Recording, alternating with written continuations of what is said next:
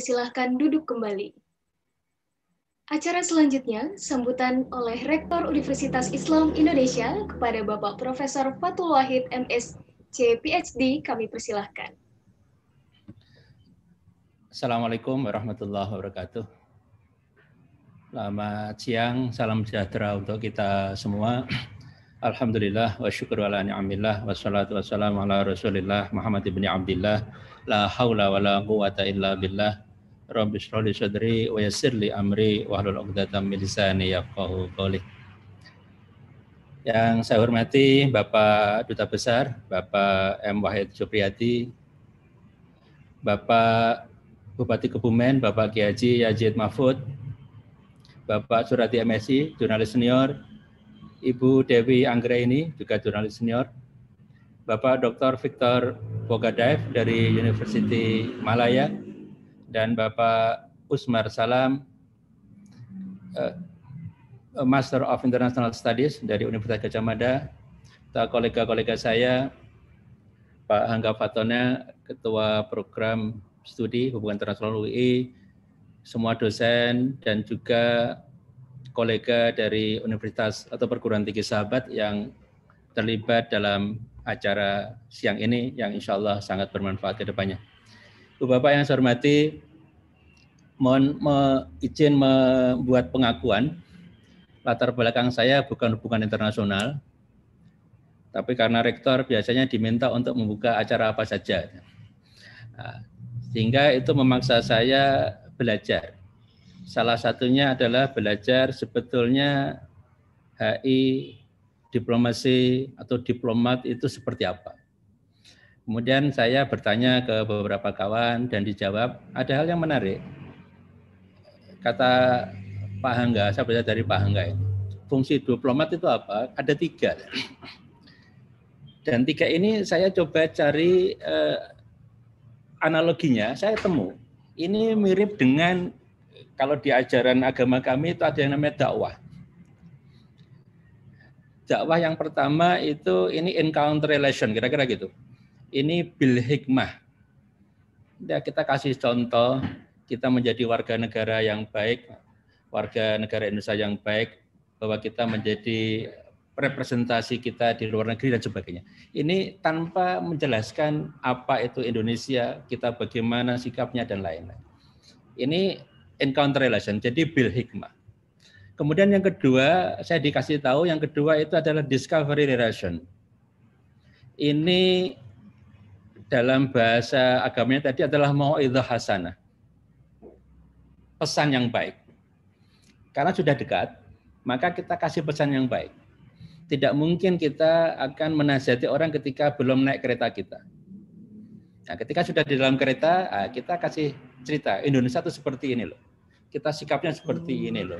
Bahwa ternyata satu musuh itu lebih banyak dibandingkan dengan seribu kawan misalnya. Ini contoh. Kemudian yang ketiga, yang saya tangkap itu menarik, re-encounter relation. Nah ini dalam bahasa agamanya ini wajadilhum billati asan. Nah, jadi kalau sudah naik kereta, kita kasih tahu yang baik. Kan? Kalau sudah dekat, kita bisa saling berdebat. Tapi dengan frame yang baik. Jadi tidak mungkin mengajak pertama dengan debat. Tidak mungkin mengajak pertama itu dengan katakanlah tadi diceritai atau diberi informasi yang sangat luar biasa padat terkait dengan negara kita. Saya melihat ada hubungan yang menarik di sini. Sehingga konsep-konsep yang seperti itu itu nampaknya bisa dianalogikan dan akhirnya saya sampai pada sebuah uh, ingatan masa lalu ada sebuah uh, yang namanya uh, sistem yang generik. General System Theory jadi ternyata di banyak disiplin itu ada hubungan-hubungan isomorfisme. Bentuknya mirip, cuma konteksnya berbeda-beda. Nah ini namanya menarik. Bagaimana kita bisa menggali pemahaman kita. Saya yakin di agama lain juga ada seperti itu. Di eh, budaya kita juga mungkin ada yang bisa digali. Termasuk misalnya negara kita itu negara yang kolektivis, suka ketemu dan sebagainya. Itu juga juga, juga menarik. Ini yang pertama yang ingin saya uh, berbagi Ibu Bapak. Kemudian yang kedua, saya juga ini membaca. Ternyata banyak sekali cara untuk diplomasi. termasuk di antaranya adalah public diplomacy. Yang ini bisa diinisiasi oleh negara, bisa juga diinisiasi oleh publik. Ini menarik. Saya ada contoh menarik sebuah kawan, seorang kawan waktu itu di Norwegia. Dia jeda kuliah ditanya oleh kawannya. Kawannya bertanya seperti ini. E, saya samarkan namanya Mbak X misalkan. Saya dengar di Indonesia itu orang non Muslim itu diburu, dibunuh, dipenggal kepalanya itu pertanyaan serius dari seorang kawan Norwegia kepada kawan kita yang dari Indonesia. Yang menarik adalah kawan saya tadi menjawab. Jawabannya menurut saya sangat kuat dan ini bisa meruntuhkan kesan sebelumnya. Kawan saya menjawab, saya non-muslim, saya Kristen, dan saya masih hidup. Jadi pemberitaan yang luar biasa itu membangun citra yang sulit diubah, tetapi ketika kawan saya tadi menceritakan seperti langsung berubah. Oh ternyata yang terjadi di Indonesia itu berbeda yang ada di berita yang terpapar kepada mereka. Nampaknya diplomasi publik ini menjadi sangat penting. Memang akhirnya perlu hubungan yang baik antara negara Indonesia dengan publik Indonesia. Karena kalau tidak bisa jadi yang arahnya bisa berlainan, bisa negatif, bisa adversarial. Malah justru eh, menjelekkan negara kita di di kancah internasional misalnya. Itu yang kedua. Kemudian yang ketiga, Bapak, saya melihat, saya kemarin juga mencari literatur desain direct misalnya, mencoba mencari diplomasi dan sosial media. Saya temukan belum banyak literatur yang mengkaji bidang itu. Akhirnya saya uh, ya, melakukan pencarian lah. Dan saya mengundang Pak Hangga saat itu. Nulis bareng ya. Hmm. Fokusnya satu, yaitu bagaimana kedutaan besar negara sahabat yang ada di Indonesia itu menggunakan media sosial untuk diplomasi, wabil khusus adalah penggunaan Instagram. Nah, ada hal menarik yang saya temukan dari data awal yang kita kumpulkan, ada 33 negara yang sudah menggunakan kedutaan negara sahabat di Indonesia, mulai dari Jepang sampai dengan Kamboja. Umurnya beragam, sudah ada yang kalau kita lihat ini ada yang sudah 100 bulan, ada yang baru dua bulan. Nah, yang paling aktif ini adalah Jepang. Ini luar biasa, followernya sekarang 143 ribu. Dan pertumbuhan followernya itu luar biasa banyak, yaitu 4.500 per bulan. Dan yang menarik, yang diposting di feed Instagram itu ternyata tidak selamanya sesuatu yang sulit dicerna. Tidak sesuatu yang selalu rumit tingkat tinggi, tetapi bisa dinikmati oleh orang atau followersnya. Termasuk postingan favorit dari Pak Dubes adalah Pak Dubes Jepang adalah makan makanan Indonesia. Selalu difoto, entah nasi goreng, entah karedok dan lain-lain difoto masuk Instagram. Dan ternyata kita laca itu membuat engagement cukup tinggi di kalangan warganet. Ini ini, ini contoh. Ada yang baru dibuat, tapi nampaknya nanti akan menarik, yaitu dari Tiongkok. Tiongkok ini baru berumur dua bulan, tapi pertumbuhan followernya tiap bulan 880. Nah, ini bisa kita lihat bagaimana media sosial dengan beragam bentuknya mulai Twitter, Instagram. Kalau Instagram namanya lebih milenial, sesuai dengan tema kita hari ini, itu digunakan mendekatkan negaranya dengan publik Indonesia. Nah, ternyata memang banyak cara ternyata untuk untuk uh, diplomasi termasuk melibatkan publik, termasuk mengundang engagement yang lebih tinggi dengan berbagai kanal yang tidak selalu dikemas secara serius, tetapi bisa membuka komunikasi ringan antar warga, engagement dan lain-lain. Nah, saya yakin diskusi hari ini akan lebih mendalam dari berbagai aspek termasuk cultural diplomacy dan lain-lain dan saya berharap semua peserta akan mendapatkan inspirasi dari para pembicara yang luar biasa nantinya atas nama Universitas Islam Indonesia saya mengucapkan terima kasih atas perkenan Ibu Bapak semuanya untuk menjadi narasumber dan juga untuk para perguruan tinggi sahabat serta semua peserta diskusi bedah buku hari ini. Dengan mengucap Bismillahirrahmanirrahim, bedah buku siang ini secara resmi saya buka. Mohon maaf untuk kekurang sempurnaan. Wassalamualaikum warahmatullahi wabarakatuh. Terima kasih Bapak. Acara selanjutnya pemaparan materi yang akan langsung dipandu oleh Ibu Masito Nurrahma, MA, Ibu Masito merupakan salah satu dosen di program studi hubungan internasional. Kepada Ibu Masito Nurrahma MA, kami persilahkan.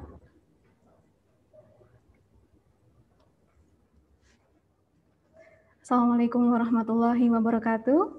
Selamat datang para audiens di mana pun Anda berada. Terima kasih kepada pembawa acara yang telah memberikan kesempatan kepada saya untuk memandu acara bedah buku dan webinar diplomasi di era milenial. Hubungan internasional selama ini dianggap sebagai sesuatu yang hanya berpusat pada kepentingan dan relasi antar negara. Persepsi ini membuat kita sering kali berpikir bahwa hubungan internasional bersifat kaku dan tidak banyak bersentuhan dengan kehidupan masyarakat secara umum. Namun, dalam buku diplomasi ringan dan lucu, para pembaca diajak menyelami diplomasi secara cair Pengarangnya, Bapak Dubes Wahid Supriyadi, menyampaikan pengalaman-pengalaman beliau yang ternyata sangat dekat dalam menjalin hubungan dengan masyarakat, LSM, dan juga media tentunya. Kali ini telah hadir bersama kita tujuh pembicara yang akan mengulas buku ini.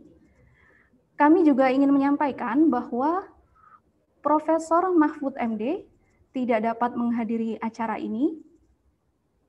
Kemudian, di sini kami akan langsung masuk pada inti dari bedah buku.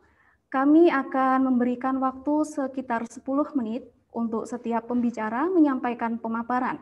Pemaparan pertama akan disampaikan oleh Bapak Duta Besar M. Wahid Supriyadi. Beliau memulai karir di Kementerian Luar Negeri Republik Indonesia tahun 1985, pernah menjabat sebagai Konsul Jenderal RI di Melbourne tahun 2004 hingga 2007, Duta Besar LBBP RI untuk United Emirates Arab tahun 2008 hingga 2011 dan terakhir sebagai Dubes LBBP RI untuk Federasi Rusia melangkap Republik Belarus tahun 2016 hingga Juli 2020 kepada Bapak Duta Besar Wahid Supriyadi. Saya persilakan.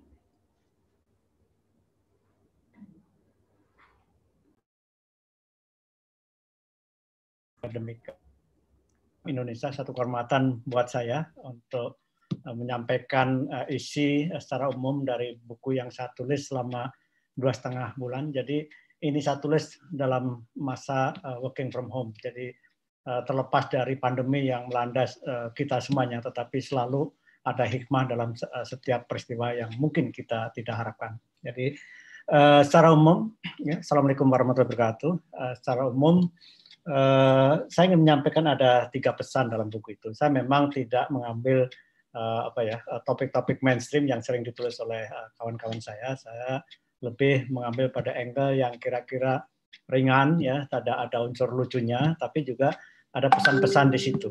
Uh, pertama misalnya uh, dalam buku saya eh, dengan tiga penempatan tiga negara itu lebih uh, menekankan pada the power of cultural diplomacy. Jadi Pak Muhtar Kusama Maja dulu pernah menyampaikan mengenai uh, diplomasi budaya. Sayangnya memang tidak dibuat dalam satu struktur yang yang apa yang sistematik sehingga lebih banyak pada uh, inisiatif dari masing-masing uh, diplomat dan saya percaya itu adalah kekuatan kita. Our, our culture is our strength. Ya, saya percaya itu. Ketika misalnya 98 saya waktu itu ada di Australia, uh, krisis kita luar biasa, sehingga banyak orang Indonesia malu menjadi orang Indonesia. Kalau di luar negeri, mereka menganggap kalau ditanya dari mana, bilangnya dari Malaysia. Ya, ini, ini kenyataan yang uh, tidak bisa kita sendiri. Tetapi saya melihat bahwa kekuatan kita justru di budaya itu. Sehingga saya mulailah dengan program-program uh, diplomasi budaya. Kalau orang melihat budaya kita, saya kira mereka tidak akan menganggap kita sebagai bangsa barbar gitu.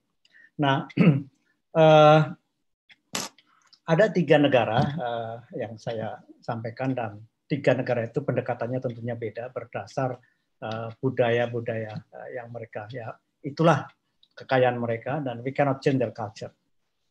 Australia misalnya itu budayanya sangat egaliter ya. Di sana berdebat itu sesuatu hal yang biasa. Bahkan dari sekolah sebelum mereka bisa membaca, karena saya memperhatikan anak saya waktu kinder, itu sudah diajari untuk berdebat, untuk presentasi. Jadi berdebat satu hal wajar. Ini yang kadang-kadang apa ya membuat juga satu handicap buat buat kita para diplomat Indonesia yang banyak kan memang kita tidak terbiasa dengan sistem pendidikan untuk debat. Bahkan anak saya ketika mem memperbaiki eh, pronunciation gurunya langsung dikasih C, padahal dia lahir besar di eh, Australia. Jadi eh, kadang-kadang ini tidak mendukung ya kondisi sistem pendidikan kita. Tapi karena saya belajar di lapangan, saya pernah jadi guru, pernah jadi dosen, jadi menghadapi publik itu sesuatu yang biasa. Nah, di sana itu kalau kita berbeda pendapat, ya, kita ajak makan itu suatu honor. Eh, saya sebut misalnya ada cerita seru sebenarnya nih, bukan ringan ya. Saya ada seorang uh, penulis ya, saya kira Budewi kenal sekali Andrew Bolt ya. Dia tahunya Islam is Arab, Arab is teroris. Kira-kira begitu yang dalam mindset dia tuh. Saya saking dongkolnya karena dia nulis di koran, dia bicara di Channel 9, Good Morning Australia, saya ajak makan. Dan kita berkelahi selama tiga kali ya, sampai hari yang keempat itu saya akan singkat saja, mungkin nanti baca aja bukunya tuh.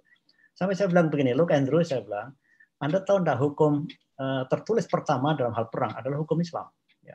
We cannot kill people who surrender. We have to protect women and children. We have to protect places of worship. So what the Taliban did is not Islamic. Dia langsung kaget gitu. Jadi saya bilang yang dilakukan oleh Taliban itu tidak Islam karena Islam melindungi tempat ibadah dan itu ada kalau Yunda percaya buka aja di Google gitu ya. Ternyata habis itu sikapnya beda dan bagus sekali. Sampai saya ditelepon oleh Pak Noim Hayat, seorang ustadz, seorang radio wartawan senior paling senior di Australia itu ya, Bu Dewi kita kenal baik. Kok ini Andrew Pot ada apa? Kok sekarang berubah? Oh, saja perkelahi aja. Jadi jadi itu ya.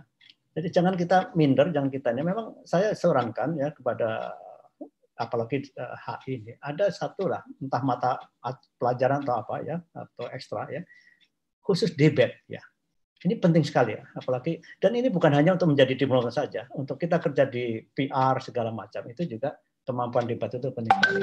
Kemudian saya di 11 tahun saya di Australia, tiga kali penempatan. Kemudian saya dipindah ke Emirat Arab. Budaya yang sangat beda sekali. Saya coba pertama kali dua bulan saya frustasi ya.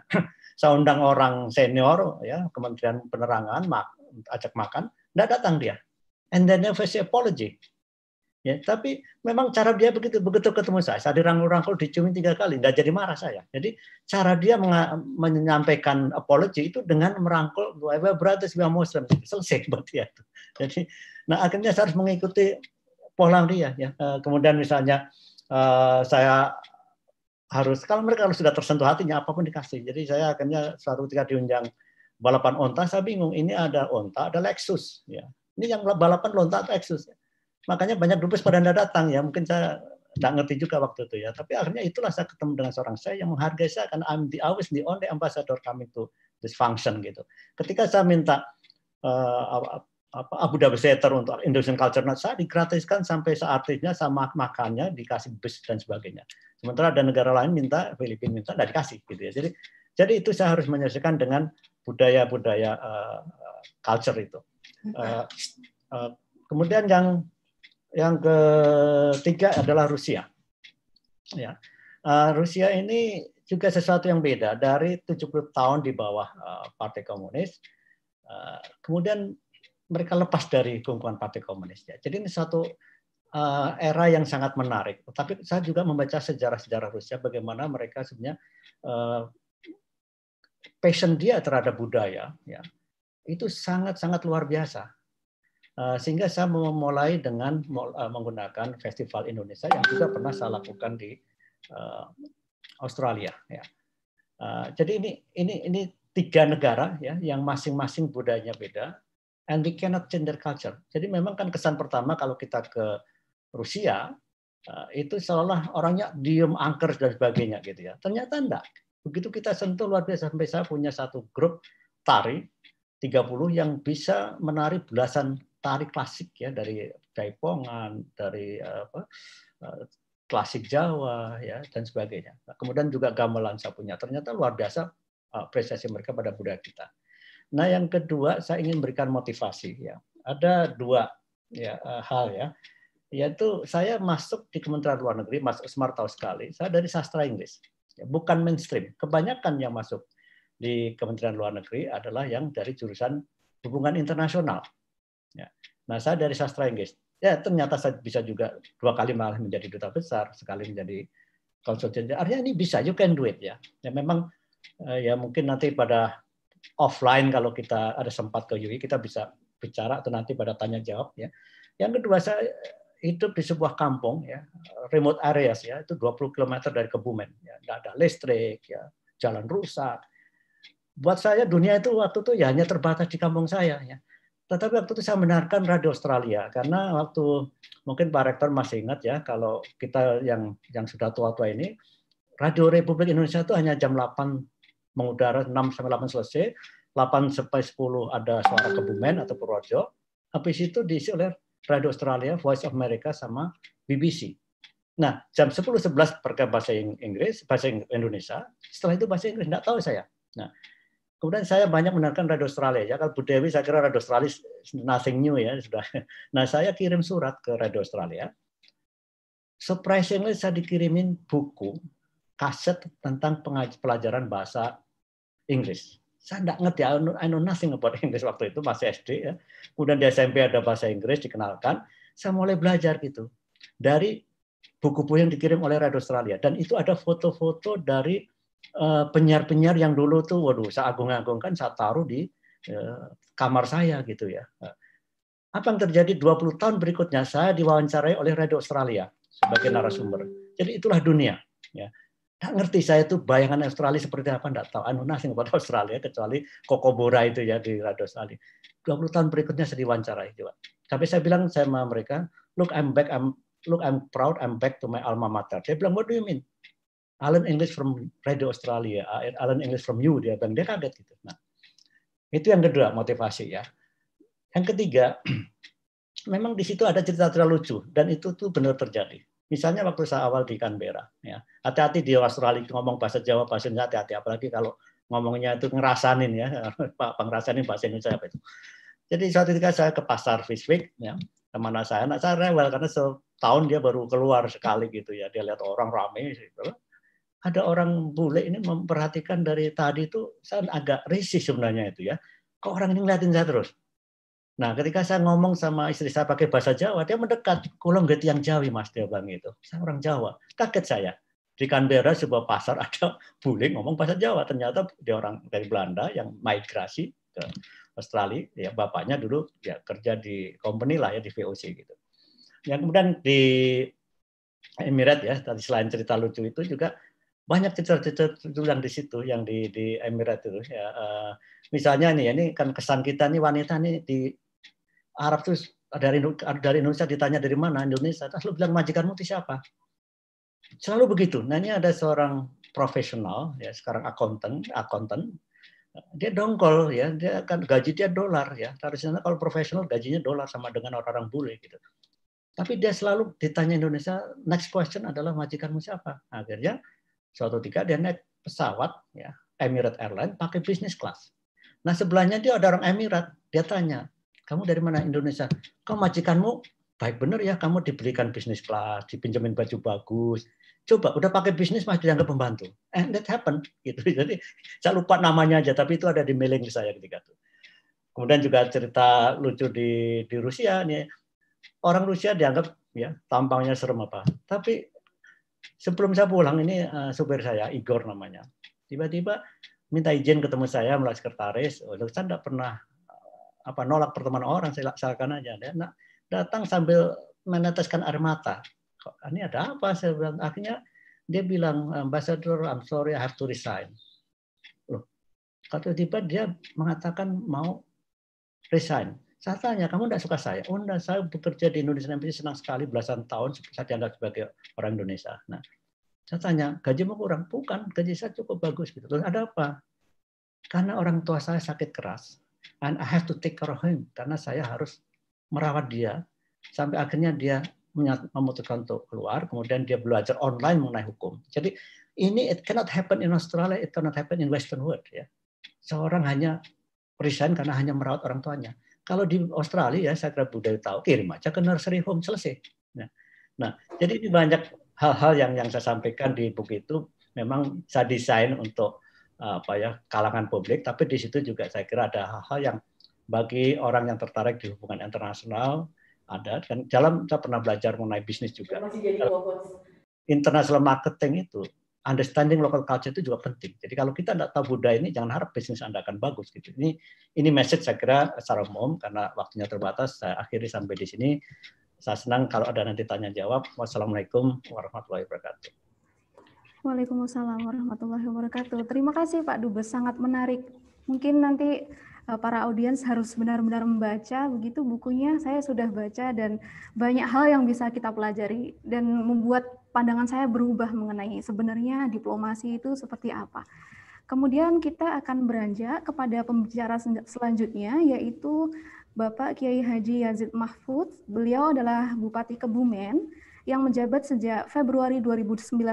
Karir politiknya dapat dilihat dari posisi yang pernah diduduki, yaitu sebagai anggota DPRD Jawa Tengah dan Wakil Bupati Kebumen tahun 2016 hingga 2018.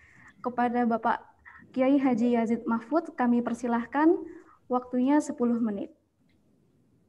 Terima kasih. Assalamualaikum warahmatullahi wabarakatuh. Bismillah, walhamdulillah, wassalatu wassalamu rasulillah, wa ala alihi wa sahbihi wa mawalah, la hawla wa la quwata illa billah, amma ba'da. Yang saya hormati Bapak Rektor Universitas Islam Indonesia, yang saya hormati para narasumber, yang saya hormati juga mobil khusus teman saya, kawan saya ini Dr. Wahid Supriyadi, asli dari Mirit, Kecamatan Mirit, Desa Winong. Pertama kami sampaikan terima kasih banyak atas kesempatan waktu yang diberikan kepada saya sebagai Bupati Kebumen. Betul yang disampaikan bahwa saya nanti akan berakhir pada tahun 2021 pada tanggal 17 Februari.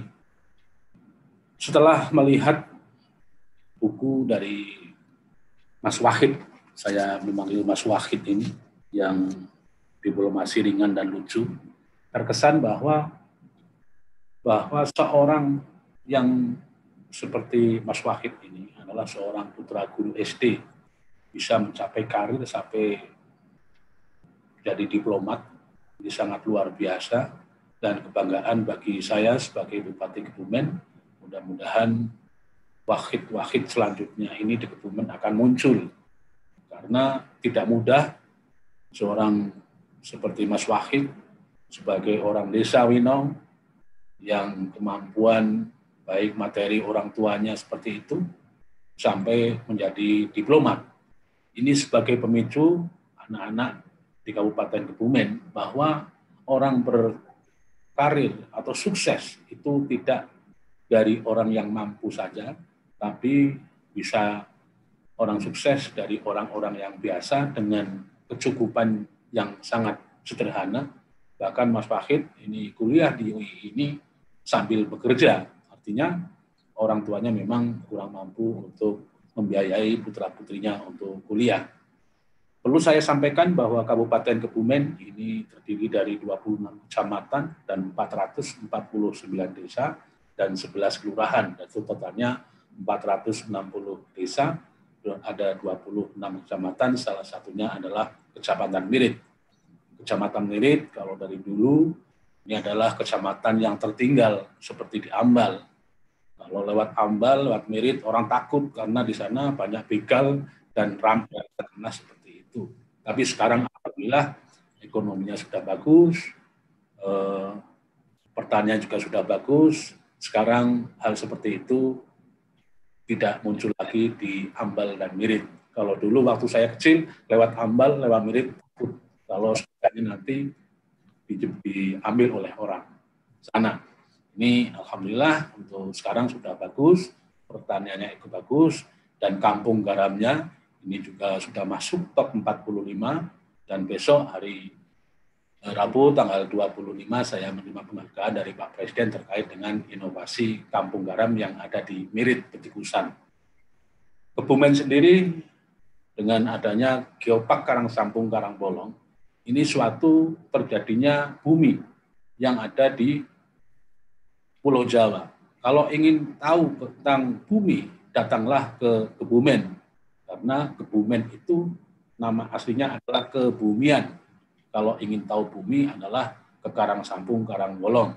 Ini ada suatu lantai samudera purba yang muncul ke daratan sehingga di sana terjadi bebatuan yang paling tua di dunia. Bahkan ahli geologi dari seluruh dunia juga datang ke Karang Sambung. Banyak mahasiswa dari ITB, dari mana pun terkait dengan geologi, belajarnya juga di Kabupaten Kebumen. Ada 4.000 mahasiswa setiap tahun ke LIPI Karang Sambung belajar tentang geologi. Kalau belum pernah ke Karang Sambung, kalau belum pernah ke LIPI Karang Sambung, berarti bukan geologis yang sejati. Sudah ke sana belajar pengetahuan di Kabupaten Kebumen baru dinamakan geologis yang memang sudah benar-benar tahu tentang batuan yang ada di Geopark Karang Sambung, Karangbolong.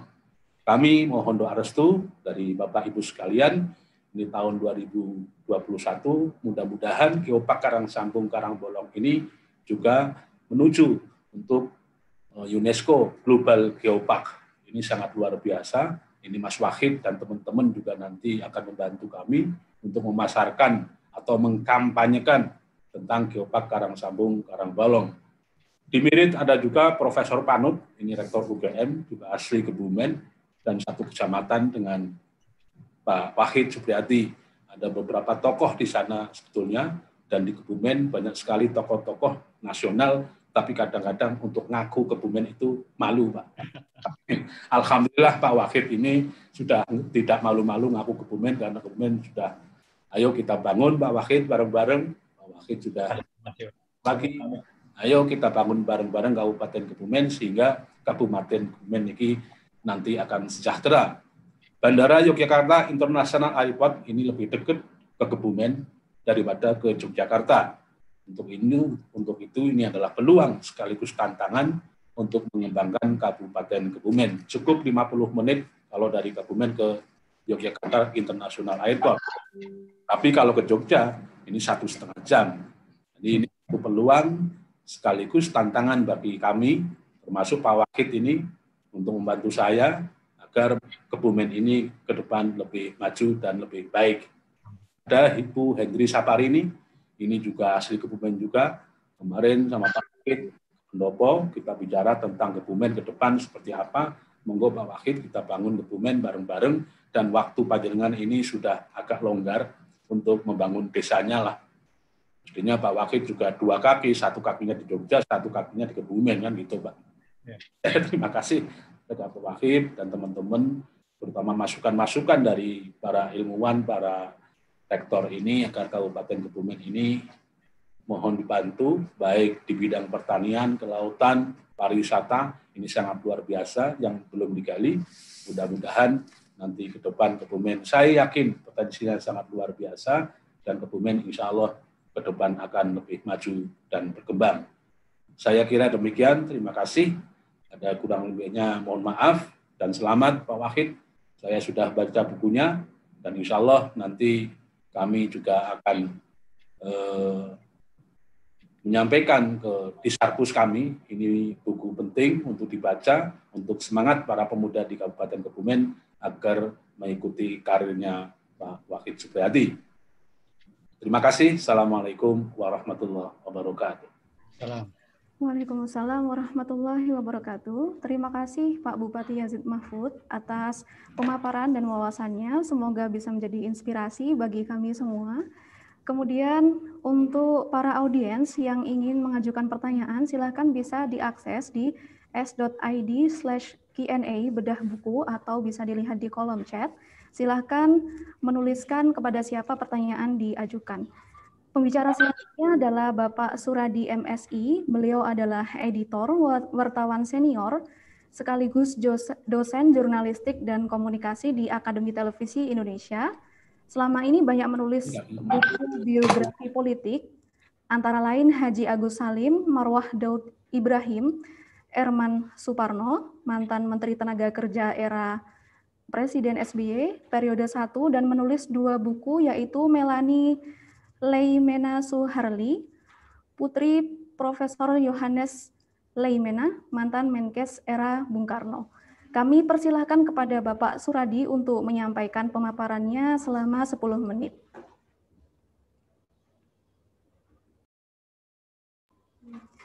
Mohon izin Pak Suradi untuk di unmute. Oke. Assalamualaikum warahmatullahi wabarakatuh. Terima kasih buat uh, moderator Ibu Masito. Kemudian uh, terima kasih yang sebesar-besarnya saya sampaikan pada Pak Dubes Pak Wahid Supriyadi yang telah memberikan kesempatan pada saya untuk membaca naskah dan menyuntingnya dan ini luar biasa. Terima kasih kepada Rektor UII, kemudian uh, yang barusan tampil, uh, Bapak Bupati Kebumen, sahabatnya Pak Wahid, kemudian juga Ibu Dewi dan narasumber yang lain. Salam sejahtera semua. Terima kasih. Uh, ini peluncuran buku kedua Pak Wahid ya, luar biasa yang pertama di UGM.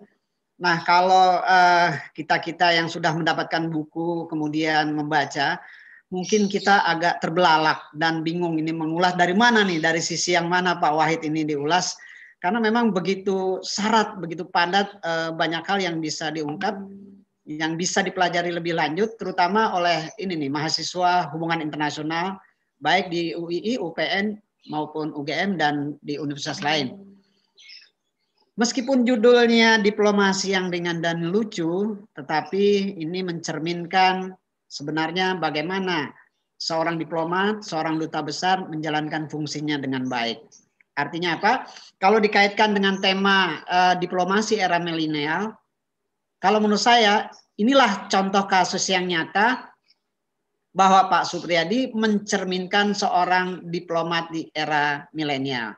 Kalau kita memahami uh, milenial dalam konteks kemodernan misalkan, Pak Wahid dengan profesional, dengan profesionalisme, dengan pendekatan budaya dan sebagainya berhasil melaksanakan tugas yang maha berat dan di akhir masa tugasnya, ini yang jarang dilakukan oleh uh, banyak duta besar, mencatat semua perjalanan dan memori jabatannya.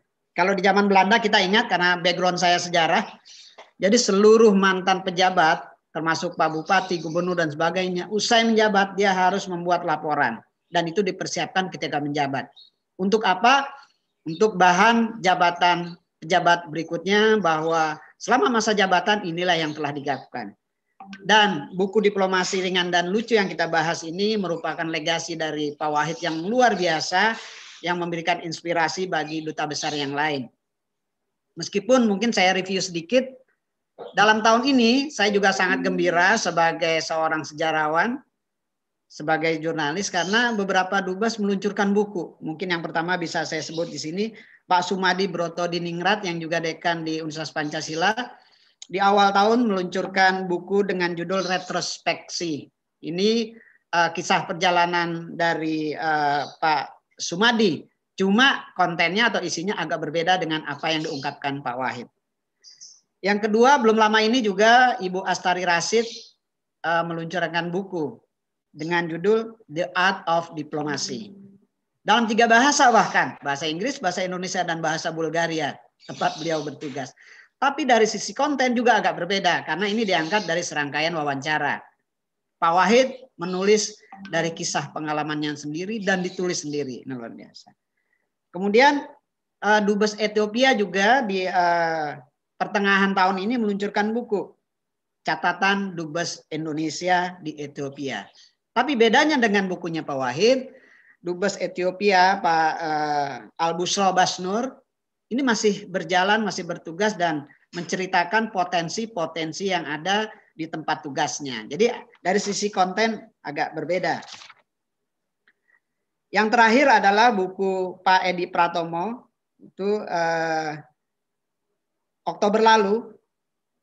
Oh Pak Edi ini yang saya sebut tadi, maaf Pak Edi Pratomo ini mantan uh, dubes di Jerman ya yang sekarang jadi dekan di Universitas Pancasila, bukunya Diplomat Kesasar. Agak unik-unik juga, eh, mirip-mirip dengan uh, cerita Pak Wahid, tapi agak berbeda kontennya. Nah, yang terakhir tentunya buku yang kita bahas di sini yaitu bukunya Pak Wahid, Diplomasi Ringan dan Lucu. Kalau hanya membaca judul, orang mungkin terkecoh, mungkin cerita-cerita yang remeh-temeh, ya, cerita yang ringan. Tapi kalau kita baca dari awal sampai akhir, nuansa uh, pesan dan diplomasi uh, yang telah dilaksanakan oleh Pak Wahid ini luar biasa, terutama dekade di Australia dan terakhir di Rusia.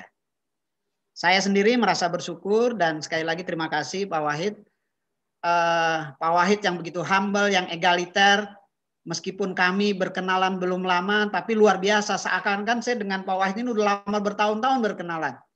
Dan saya diberikan kesempatan untuk menyaksikan langsung bagaimana seni diplomasi diterapkan Pak Wahid di Rusia. Jadi tahun lalu saya diundang Pak Wahid ke Moskow menyaksikan terobosan dari Pak Wahid, pendekatan diplomasi budaya, kemudian pendekatan ekonomi, dan ini yang diinginkan oleh Presiden Jokowi bagaimana setiap duta besar di seluruh negara tempat tugasnya melaksanakan apa yang disebut diplomasi budaya dan yang lebih penting lagi adalah bagaimana diplomasi budaya itu berimplikasi kepada diplomasi ekonomi, yaitu bagaimana investasi bisa masuk, bagaimana ekspor kita bisa meningkat, bagaimana wisatawan bisa meningkat. Dan kalau dibaca di sini, dan juga kita searching eh, para mahasiswa misalkan luar biasa. Di tangan Pak Wahid, misalkan yang terakhir di Rusia, peningkatan jumlah wisatawan itu luar biasa, yang terbesar di Eropa. Tidak lain karena promosi yang luar biasa dari Pak Wahid, dari pendekatan budaya yang telah dilakukan. Bahkan di kantor Pak Wahid, di lantai dua di KBRI di Moskow, itu hampir setiap hari kalau tidak salah ya, saya menyaksikan bagaimana warga Rusia dengan antusiasnya latihan gamelan, difasilitasi. Kemudian uh, diberikan tempat-tempat pertunjukan yang luar biasa. Jadi memang pendekatan uh, Pak Wahid ini saya bilang dari pengantar saya sesuai dengan namanya pendekatan yang wahid sekali, yang nomor satu dan berhasil. Jadi uh, kita dengan bangga membaca rekam jejak dan buku Pak Wahid ini luar biasa dan bisa menjadi contoh seperti Pak Cipta Lesmana bilang di dalam pengantarnya dan saya setuju talenta yang dimiliki Pak Wahid bukan hanya dari sisi bagaimana seorang diplomat menjalankan tugasnya dengan paripurna, tetapi talenta kelihayan menulis. Jadi Pak Wahid ini uh, bisa menjadi saingan kita nih kalangan jurnalis karena tulisannya luar biasa. Tulisannya sudah jadi, sudah press klar ya kata Pak Sabam, guru besarnya Pak Wahid di dalam cerita buku ini. Jadi ketika saya membaca dan menyuntingnya, itu saya pikir, wah ini wartawan senior belum tentu bisa menyaingi Pak Wahid nih dalam tulisan-tulisannya. Saya menyebutnya banyak feature di dalam buku ini. Jadi itulah talenta yang dibangun lama karena Pak Wahid tugas di bagian penerangan. Dan bagian penerangan inilah yang membawa keberhasilan dari Pak Wahid karena mendapatkan guru yang luar biasa yang diakui Pak Wahid yaitu Pak Sabam Siagian yang waktu itu menjadi duta besar di Australia. Kalau teman-teman mahasiswa membaca, Pak Sabam juga meninggalkan legasi yang luar biasa, dua buku yang tebal-tebal yang berisi tulisan-tulisan yang sangat bermutu yang uh, mencerminkan uh, bagaimana perjalanan diplomasi kita terutama masa-masa genting ketika kita menghadapi uh, kasus Timur Timur. Dua buku itu adalah Renungan dan Pemikiran, kemudian pemantauan dan pemahaman. Jadi teman-teman tinggal googling saja, searching saja, nanti akan ketemu itu legasi yang luar biasa dari Pak Sabam Siagian yang banyak memberikan uh, pemahaman uh, tentang media, tentang pers, tentang hubungan uh, dengan orang Australia kepada Pak Wahid dan Pak Wahid diakui. Nah, di dalam buku ini yang kita baca bagaimana seorang menteri luar negeri yang uh, sangat karismatis Pak Ali Alatas itu memberikan surprise yang luar biasa kepada Pak Wahid lewat Pak Sabang. Jadi ketika berita-berita tentang diplomasi kita terhadap Australia jatuh di bawah titik nadir, berkat pendekatan budaya, pendekatan perkawanan, persahabatan Pak Wahid dengan semua kalangan, dan salah satu wartawan terkemuka di Australia yang bernama Greg, maka hasil wawancara Greg dengan Sabam Siagian menjadi poin tersendiri bagi Menteri Luar Negeri. Nah, kita bisa baca tuh di dalam bukunya Pak uh, Alatas menanyakan kepada Sabam yang dipanggil pulang ke Jakarta waktu itu, siapa yang menulis berita tentang ini begitu bagus, yang memberikan uh, jalan. Pak Sabam hanya menyebut Pak Wahid. Siapa Pak Wahid? Nah, menurut Alatas mungkin nggak kenal. Tapi di balik itu semua, nah inilah peran dan jasa Pak Wahid luar biasa mendekatkan eh, kelompok-kelompok uh, di Australia dengan Pak Dubo sehingga menghasilkan berita yang cukup positif untuk Indonesia. Jadi catatan saya yang terakhir adalah uh, Pak Wahid telah memberikan legasi, memberikan contoh yang sangat baik kepada para duta besar dan generasi para diplomat yang masih muda sekarang untuk merekam semua Eh, peristiwa-peristiwa dan nantinya dituliskan. Kalau memang nggak bisa menulis, dia bisa cerita kepada jurnalis dan nanti jurnalis yang bisa menuliskan. Tapi kelihayan Pak Wahid dalam buku ini eh, banyak dipuji teman-teman wartawan. Karena apa? Asik dibaca dan perlu. Seperti eh, motonya sebuah media ya Pak ya. Oleh karena itu sekali lagi saya memberikan apresiasi yang luar biasa dan buku ini memang harus dibaca oleh kalangan mahasiswa studi hubungan internasional, dan orang-orang yang bergerak di bidang diplomasi. Itu saja dari saya, mungkin nanti kita bisa berdiskusi lagi. Sekian, terima kasih. Wassalamualaikum warahmatullahi wabarakatuh. Waalaikumsalam warahmatullahi wabarakatuh. Terima kasih atas pemaparannya, Bapak Suradi, tepat 10 menit. Kita akan lanjutkan pada pembicara berikutnya, yaitu Ibu Dewi Anggraini. Saat ini beliau online dari Australia. Um, beliau merupakan jurnalis senior dan novelis yang saat ini berdomisili di Melbourne. Pernah menduduki posisi sebagai koresponden Tempo di Australia, kemudian juga pernah bekerja untuk Forum Keadilan dan The Jakarta Post. Pada tahun 98 kembali lagi ke Tempo.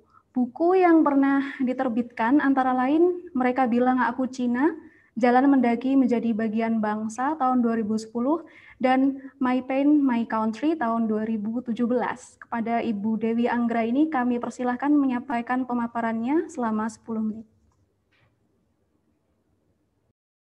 Mohon izin Ibu untuk uh, meng-unmute.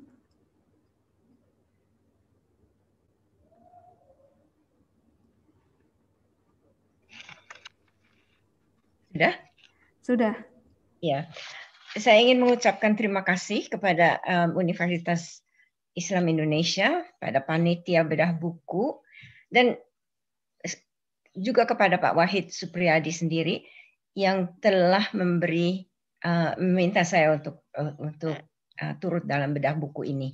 Mula-mula saya merasa ini Pak Wahid ini sedang um, sedang indulge ya, dalam um, political correctness atau bagaimana? Karena saya satu-satunya perempuan di sini. Um, untung saya seorang jurnalis ya. Tempo, berita mingguan, sosial politik. Jadi saya sudah biasa jadi minoritas. Um, saya uh, yang saya ingin ingin ulas adalah pandangan saya ya dari, sebagai seorang um, seorang yang kenal Pak Wahid dan juga Pak Wahid sebagai penulis, sebagai diplomat, dan bagaimana dia mempraktekkan soft diplomacy tanpa harus mengikuti panduan setapak demi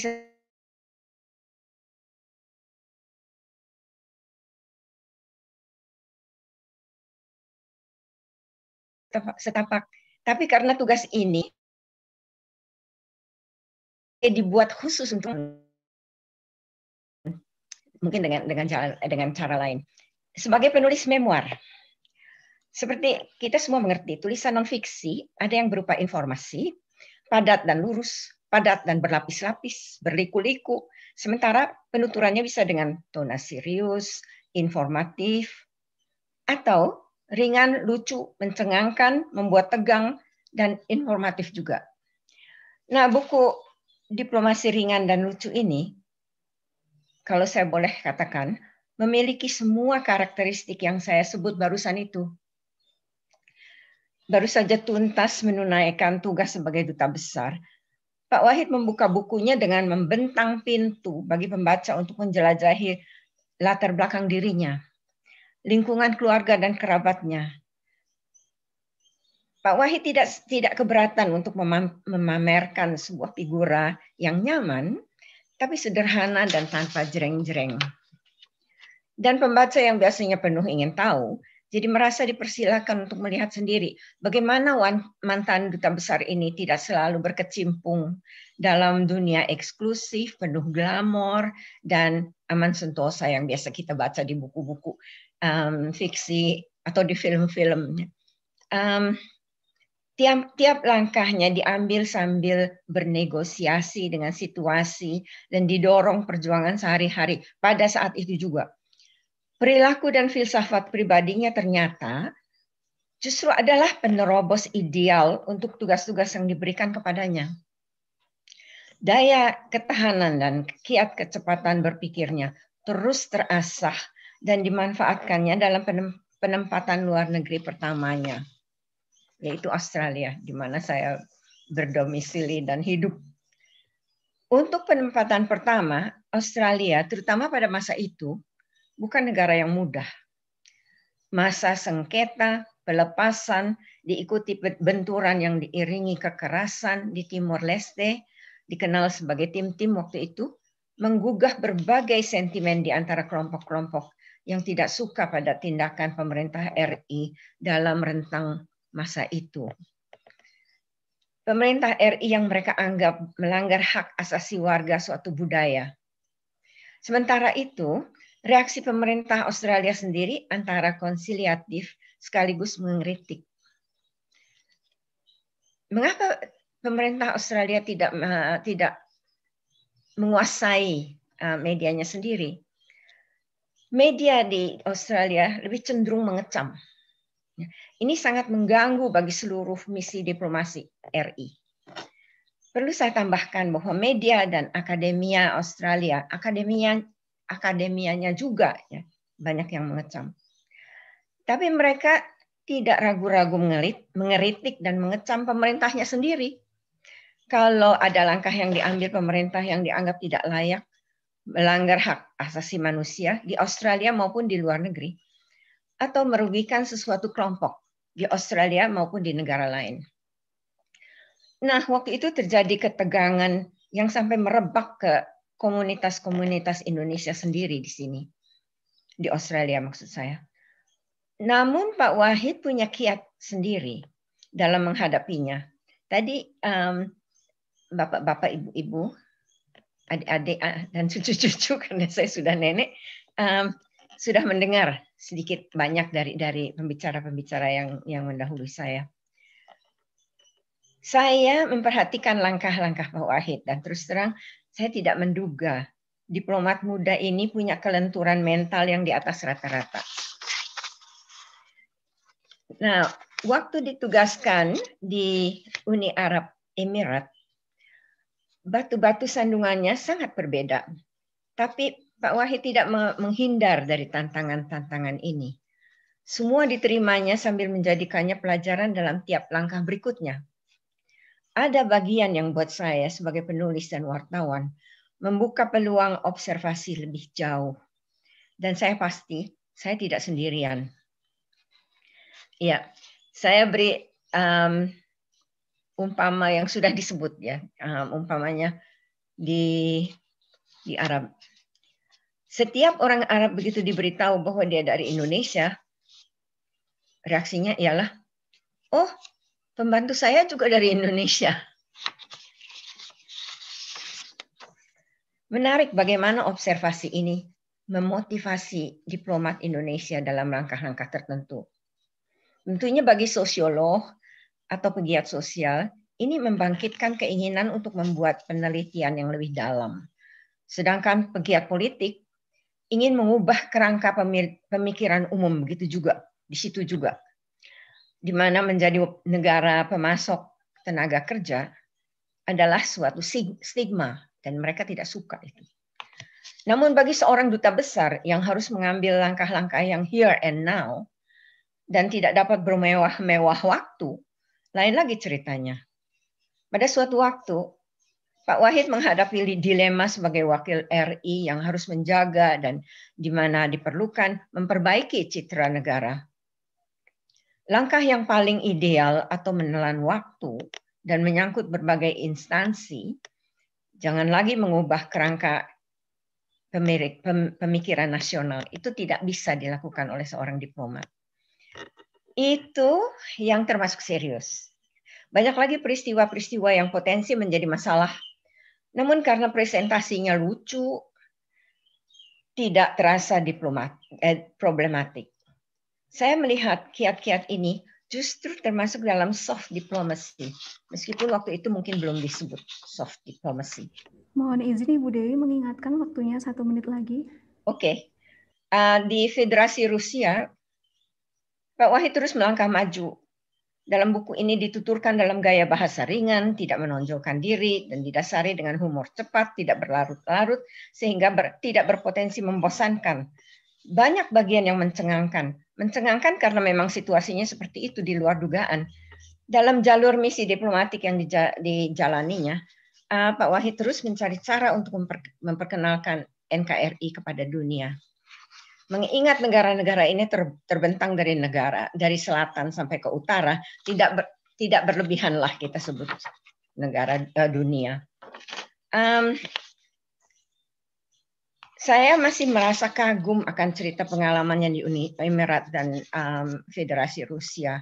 Waktu itu Pak Wahid sudah menduduki posisi duta besar, namun tantangannya berbeda dengan di Australia. Kalau ada keberatan saya dalam buku ini ialah Pak Wahid, komentar Pak Wahid tentang tari pedang yang dipertunjukkan di sebuah kota di Rusia yang dipentaskan bersama dalam pementasan tari-tarian Indonesia. Kata Pak Wahid nih, buat para penari Indonesia begitu perkiraannya nih, dalam waktu 15 menit saja sudah bisa. Saya mengakui bahwa penari Indonesia sangat piawai. Namun Pak Wahid, tidak ada tarian yang dapat dipelajari, dikuasai dalam siap pentas untuk siap pentas, apalagi kepada umum. Dalam waktu 15 menit, semudah apa pun kelihatannya. Nah, saya tidak akan berpanjang-panjang agar yang belum membacanya menjadi penasaran dan ingin membacanya. Terima kasih sekali lagi uh, diberi peluang untuk turut dalam webinar ini. Salam. Salam Bu Dewi, terima kasih sudah meluangkan waktunya jauh-jauh dari Melbourne. Kemudian kami akan melanjutkan pada pembicara berikutnya, yaitu Dr. Viktor Pogadev. Beliau saat ini sedang online dari Rusia dan juga kebetulan sedang ulang tahun hari ini. Selamat ulang tahun Pak Victor. Pak Victor merupakan ahli sejarah dan budaya Asia Tenggara serta seorang leksikografer kelahiran Rusia. Saat ini menduduki posisi sebagai associate professor di University of Malaya. Beliau mempublikasikan banyak karya, di antaranya seperti Rusia, How Indonesian and Malaysian Writers Treat It, dan juga Kamus Rusia Indonesia Indonesia Rusia yang pertama kali ada. Kemudian sebelum kita masuk kepada Pak Victor, saya ingin mengingatkan kepada para audiens bahwa pertanyaan bisa disampaikan melalui link di kolom chat dan akan ada door prize berupa lima buah buku untuk penanya terbaik. Kepada Dr. Victor Pogadev, saya persilahkan waktunya 10 menit. Ya, terima kasih ya. Selamat siang dari Moskow. Meskipun di sini masih pagi dan tapi agak gelap di di di luar karena uh, sudah uh, mulai uh, musim uh, sejuk, musim dingin ya. Jadi mula-mula uh, saya mau membetulkan uh, itu jabatan saya. Sekarang uh, saya mengajar bahasa Indonesia di Institut Hubungan internasional di Moskow. Jadi kontrak saya dengan Universitas Malaya sudah selesai. Uh, saya membaca buku Pak Wahid uh, yang menjadi sahabat uh, baik saya dengan uh, dengan uh, penuh minat dan saya kira buku itu sangat menarik. Uh, karena setiap uh, diplomat sebenarnya mempunyai peluang untuk uh, mengetahui lebih banyak baik daripada orang lain negara-negara di mana mereka bekerja dan uh, terutama uh, budaya uh, supaya tidak menemui diri dalam situasi yang uh, tidak diinginkan. Dan uh, Pak Wahid uh, sebenarnya ialah seorang diplomat uh, uh, pada tempatnya. Uh, maksud saya uh, itu kerjanya yang Eh, betul-betul uh, kerja dia, kerja beliau di, di, di Rusia misalnya. Uh, dan uh, apabila dia melihat misalnya di Rusia uh, ada antrean, jadi itu berarti bahwa di sana ada museum atau atau pameran. Itu uh, saksi kesaksian uh, Pak uh, Pak Wahid uh, di Rusia dan uh, mungkin itu dalam konteks yang lebih luas menunjukkan bahwa orang Rusia suka kesenian. Jadi buku itu menarik dari dua segi. Yang segi pertama ialah pengetahuan tentang negara di mana Pak Wahid bekerja. Eh, dan yang kedua ialah juga untuk orang Indonesia supaya mereka tahu bagaimana kedutaan besar Indonesia di luar negeri bekerja. Apa para diplomat buat di sana ya. Dan uh, kalau um, kita membaca buku itu, uh, kita tahu bahwa Pak Wahid memang sangat aktif uh, dalam kegiatannya uh, dalam berbagai bidang dan terutama dalam uh, bidang kebudayaan. Uh, dia beliau banyak mengunjungi tempat-tempat di Rusia. Dengan begitu dia memperkenalkan Indonesia kepada masyarakat Rusia. Misalnya di Kazan atau di Tomsk dan di tempat-tempat lain. Dan bayangkan saja dua tahun yang lalu saya pernah pergi ke Bandar Aceh karena karena ada di sana satu acara. mm, festival kebudayaan. Aceh dan uh, secara kebetulan saya waktu satu resepsi di kediaman uh, gubernur gubernur, gubernur uh, berjumpa dengan beberapa perempuan dari Kazan dari Tatarstan di, dari Rusia.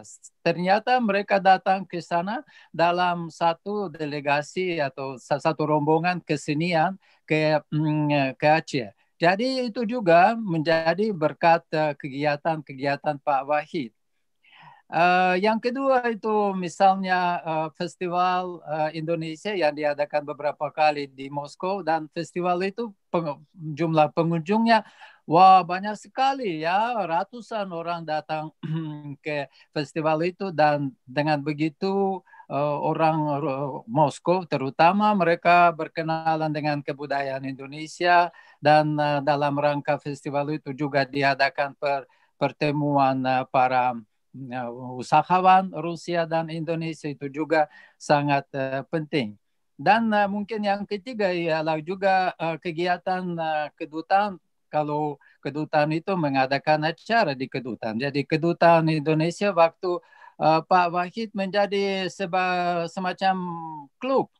Jadi uh, para Indonesianis uh, wakil dari khalayak ramai uh, Moskow datang ke sana jadi ada diskusi tentang hubungan bilateral uh, tentang kebudayaan pertukaran kebudayaan uh, dan juga tentu uh, orang yang datang ke kedutaan uh, bisa menikmati uh, masakan uh, Indonesia.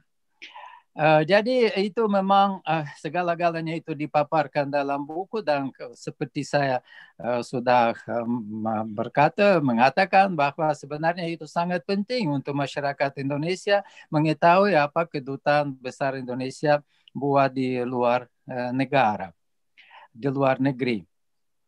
Dan mungkin uh, nanti kalau uh, Pak Wahid uh, dia ada pengalaman banyak dan uh, pertemuan, kunjungan dan sebagainya. Mungkin dia akan meneruskan usahanya dan akan menulis satu buku lagi. Uh, penting juga misalnya jadi buku itu tidak buku itu adalah karya yang ditulis oleh Pak Wahid tidak tidak bisa dipisahkan daripada kepribadian Pak Wahid yang orang yang murah hati, yang sebenarnya rendah hati juga dan dia bukan saja menerbitkan buku sendiri tapi juga membantu kepada orang lain menerbitkan buku ya. Misalnya kepada saya dia membantu dua kali. Satu kali itu ialah buku uh, puisi perempuan Indonesia yang saya terjemahkan ke dalam uh, bahasa Rusia dari bahasa Indonesia dan buku itu diterbitkan uh, dengan bantuan uh, Pak Wahid. Dan buku yang kedua nanti akan diterbitkan juga itu buku tentang Indonesia berjudulnya ialah dunia Indonesia yang menakjubkan. Uh, jadi uh, kembali kepada buku yang ditulis oleh Pak Wahid, saya saya pikir uh, itu sebenarnya sangat penting untuk uh, pelancong juga. Jadi buku itu seperti panduan um, panduan untuk untuk para para wisatawan supaya mereka tahu apa akan ditunggu mereka di negara yang mereka akan kunjungi. Dan uh, saya harap nanti kalau pandemik sudah selesai, uh, jadi banyak orang Indonesia akan datang ke Rusia, uh, terutama karena visa sekarang uh, untuk mendapat visa agak, visa, uh, agak gampang, uh, bisa menerima visa ke Rusia melalui internet dan uh, saya yakin uh, orang Indonesia berduyung-duyung datang ke Rusia dengan memegang dalam tangan mereka buku Pak Wahid. Jadi uh, satu selama Victor, Victor. Ya, selamat dan uh, saya harapkan banyak sukses kepada Pak Wahid dan uh, uh, tentu um, Pak Wahid akan uh, akan menulis beberapa buku lagi tentang pengalamannya. Terima kasih. Terima kasih Dr. Victor atas ulasannya.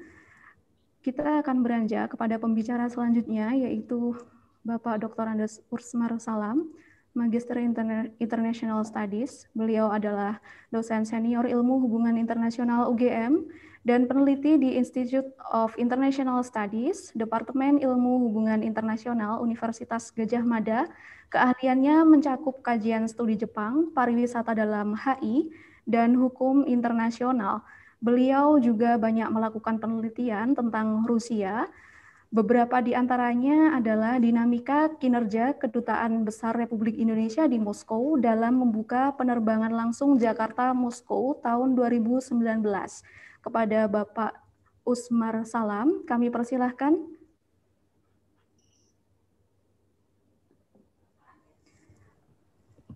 Eh, bapak-bapak yang saya hormati, Bapak Rektor Universitas Gajah eh, Universitas Islam Indonesia dan para narasumber serta eh, para mahasiswa mungkin mayoritas dari ilmu hubungan internasional. Assalamualaikum warahmatullahi wabarakatuh. Jadi saya sudah membaca buku ini, sudah tamat seperti uh, moderator tadi. Uh, perlu bapak-bapak, ibu-ibu dan masyarakat ketahui saya ini teman dekatnya Pak Wahid. Jadi kami berkenalan itu uh, lebih kurang 40 tahun yang lalu. Kami sama-sama uh, mengajar bimbingan tes. Jadi hampir semua bimbingan tes yang ada di daerah istimewa Yogyakarta dan Solo itu kami yang yang menguasai kebetulan Pak Wahid itu mengajar bahasa Inggris, saya mengajar ilmu sosial. Jadi kita tahu semuanya.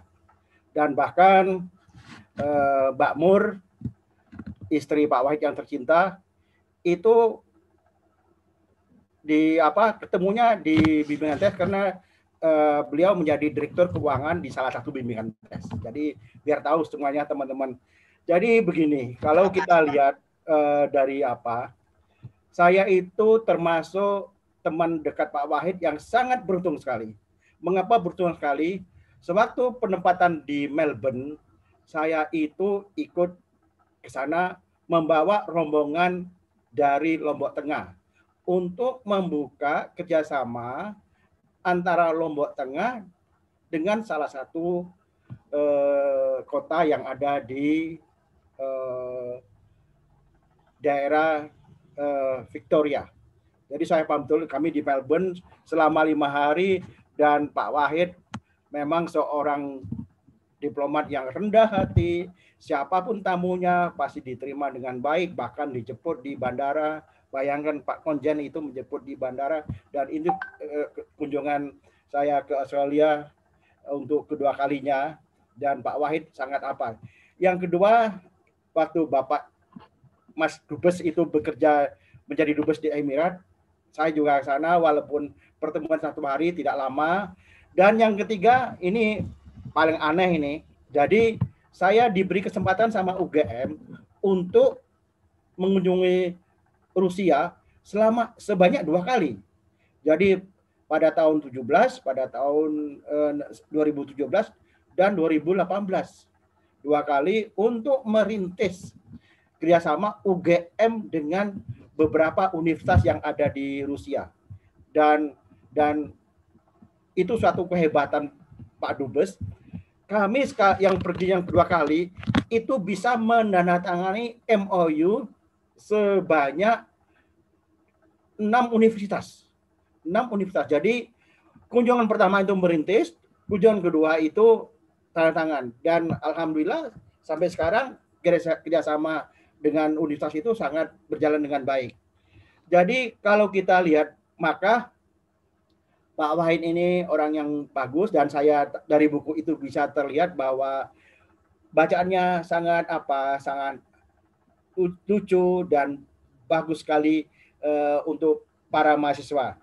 Jadi begini, kalau kita lihat bahwa uh, selama kerjasama antara baik di Australia maupun di apa uh, Emirat Arab dan Moskow, tekanan Pak Dubes ini pada TTI, Tourism, Trade and Investment.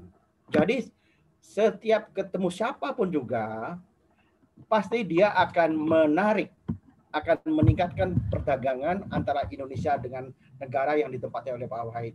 Baik yang ada di Melbourne, yang ada di apa di eh, Emirat maupun yang ada di eh, Moskow. Jadi ini yang harus menjadi apa? Yang harus menjadi eh, apa kita perhatian. Dan yang apa yang paling berkesan di hati saya Pak Wahdi itu tidak memandang apa pangkat orang apa pun juga. Eh, kebetulan hampir sebagian besar dari mahasiswa dari diplomat yang ada di Kemlu sekarang itu sebagian ya bimbingan saya atau hampir dua per tiga saya ikut uji, termasuk uh, Bu Menlu itu bimbingan saya yang pertama kali. Jadi saya masih dosen muda tahun 84, Bu Reno itu bimbingan saya yang pertama kali juga termasuk teman yang ada di berapa dubes itu menjadi bimbingan saya. Dan uh, walaupun Pak Wahid sudah menjadi duta besar, tetapi sesak kepada alma maternya tidak akan lupa. Setiap pulang ke Jogja pasti memberikan ceramah, harus memberikan memberikan harus menemui rektor dan sebagainya. Dan tentu hal ini sangat menyenangkan uh, bagi uh, Sivita Akademika yang ada di UGM karena kalau kita lihat Pak Wahid ini sudah banyak memberikan ceramah dan motivasi kepada mahasiswa mahasiswa HIUGM juga kepada mahasiswa uh, sastra uh, Fakultas Ilmu Budaya. Dan buku ini saya kira pertama sangat bagus sekali untuk uh, dibaca oleh para diplomat muda. Mengapa dibaca? Karena uh, tidak semua orang bisa menulis. Jadi itu perlu dicatat, tidak semua orang uh, bisa menulis. Langka sekali para diplomat bisa dihitung dengan jari, walaupun dia bisa menulis, tapi bisa aja dibuatkan oleh orang lain. Dan mengapa wajib dibaca oleh apa perilaku Pak Wahid menjadi diplomat itu sangat bagus ditiru oleh para diplomat muda. Karena kadang-kala kalau teman-teman itu sudah menjadi diplomat, lupa dia sama tanah airnya, lupa dia sama temannya dan kalau kita apa dan sebagainya. Saya kira Pak Wahid tidak akan lupa. Setiap ke Jogja pasti kita ketemu sama makan-makan dan sebagainya. Ini yang yang saya mengacungkan jempol kepada uh, Pak Wahid karena dia tidak lupa. Juga buku ini saya kira uh, wajib dibaca bagi mahasiswa hubungan internasional atau bagi mereka yang suka travel. Karena seperti yang dikatakan oleh Pak Suradi tadi bahwa buku ini bagus sekali dibaca untuk uh, para di, uh, travel, pelancong itu. Ini sangat bagus. Mengapa? Karena dia Pak Wahid bisa membuat buku ini orang uh, ingin membaca terus. Dan ada hal-hal yang terungkap di dalam buku itu dengan dengan gamblangnya, dengan lucunya, dengan ring, ring dengan ringannya dan wajar buku ini uh, apa di uh, dibaca oleh para mahasiswa maupun traveler. Dan kalau saya setelah baca dan uh, kami bergaul itu 40 tahun, saya kira Pak Wahid wajib menulis buku lagi satu lagi diplomasi yang serius. Mengapa diplomasi yang serius? Karena banyak hal-hal yang serius yang belum terungkap di dalam buku itu. Misalnya bagaimana eh, Pak Dubes, Mas Dubes ini mengusahakan agar dibuka penerbangan langsung oleh Garuda antara Moskow dan Jakarta dan uh, saya melihat sehingga itu buku uh, apa uh, pekerjaan Pak Wahid itu dibuat oleh dua mahasiswa saya menjadi skripsi dan saya menjadi penelitian karena setiap ke Jogja selalu bercerita bagaimana usaha Pak Wahid untuk membuka. Mengapa demikian? Masalah eh, sedikitnya wisatawan yang ada Rusia yang ada ke Jogja itu ke Indonesia itu disebabkan masalah konektivitas, masalah penerbangan. Karena kalau kita ke Rusia harus mampir ke Timur Tengah dulu, stop kira-kira 6 jam, sudah itu baru ke Rusia. Nah, usaha itu dibuka bisa langsung walaupun memakan waktu eh, sedikit panjang, tapi kan tidak berhari-hari. Eh, paling paling lama 12 jam Jakarta Moskow sudah apa? Sudah bisa dibuka. Namun ya sekali lagi kendala yang ada di dalam negeri yang tidak bisa mencium bagaimana prospek wisatawan Rusia bagi Indonesia. Jadi ini yang sangat disayangkan dan orang Rusia memahami masalah itu bahkan eh, penerbangan Moskow Rusia itu sekarang ada yang dibuka oleh eh, Rusiana. Eh, seperti apa anak perusahaannya apa penerbangan dari Rusia. Jadi ini penting uh, dibaca oleh para diplomat muda karena ini banyak hal-hal yang memberikan ini uh, inspiratif kepada diplomat muda juga para calon-calon uh, diplomat. Karena uh, menjadi diplomat itu sudah menjadi impian walaupun sekarang itu sudah banyak uh, ketertarikan lain. Mengapa? Kalau ingin kaya ya jangan jadi diplomat dulu karena harus ada runtutannya. Kalau ingin kaya ya langsung jadi masuk pegawai Pertamina atau pegawai yang lainnya. Karena kalau menjadi diplomat harus dari golongan uh, 3B, 3 ada urutannya dan akan menjadi seorang diplomat memakan waktu. Nah, jadi ini Mohon izin mengingatkan uh, saya kira lagi Pak Usman. Ya, uh, apa ini kesan saya uh, pada Mas Dubes dan kami dari akademisi berharap ada buku yang serius yang lebih banyak mengulas hal-hal yang bagaimana berunding dan bagaimana itu sebagainya dan di mana kendala-kendalanya supaya memberikan masukan kepada pemerintahan Indonesia yang kadang-kadang agak lelet juga. Demikian saya kira matur nuwun panitia yang sudah banyak bekerja dan alhamdulillah eh, targetnya memenuhi lebih banyak ya. Dan saya akhiri wassalamualaikum warahmatullahi wabarakatuh. Waalaikumsalam warahmatullahi wabarakatuh. Terima kasih Pak Usmar atas ulasan dan pemaparannya. Kita akan melanjutkan pada pembicara selanjutnya yaitu Bapak Hangga Fatana MA. Beliau merupakan Ketua Program Studi Hubungan Internasional Universitas Islam Indonesia. Bidang penelitiannya meliputi ekonomi politik global, politik perdagangan, serta kebijakan luar negeri Australia.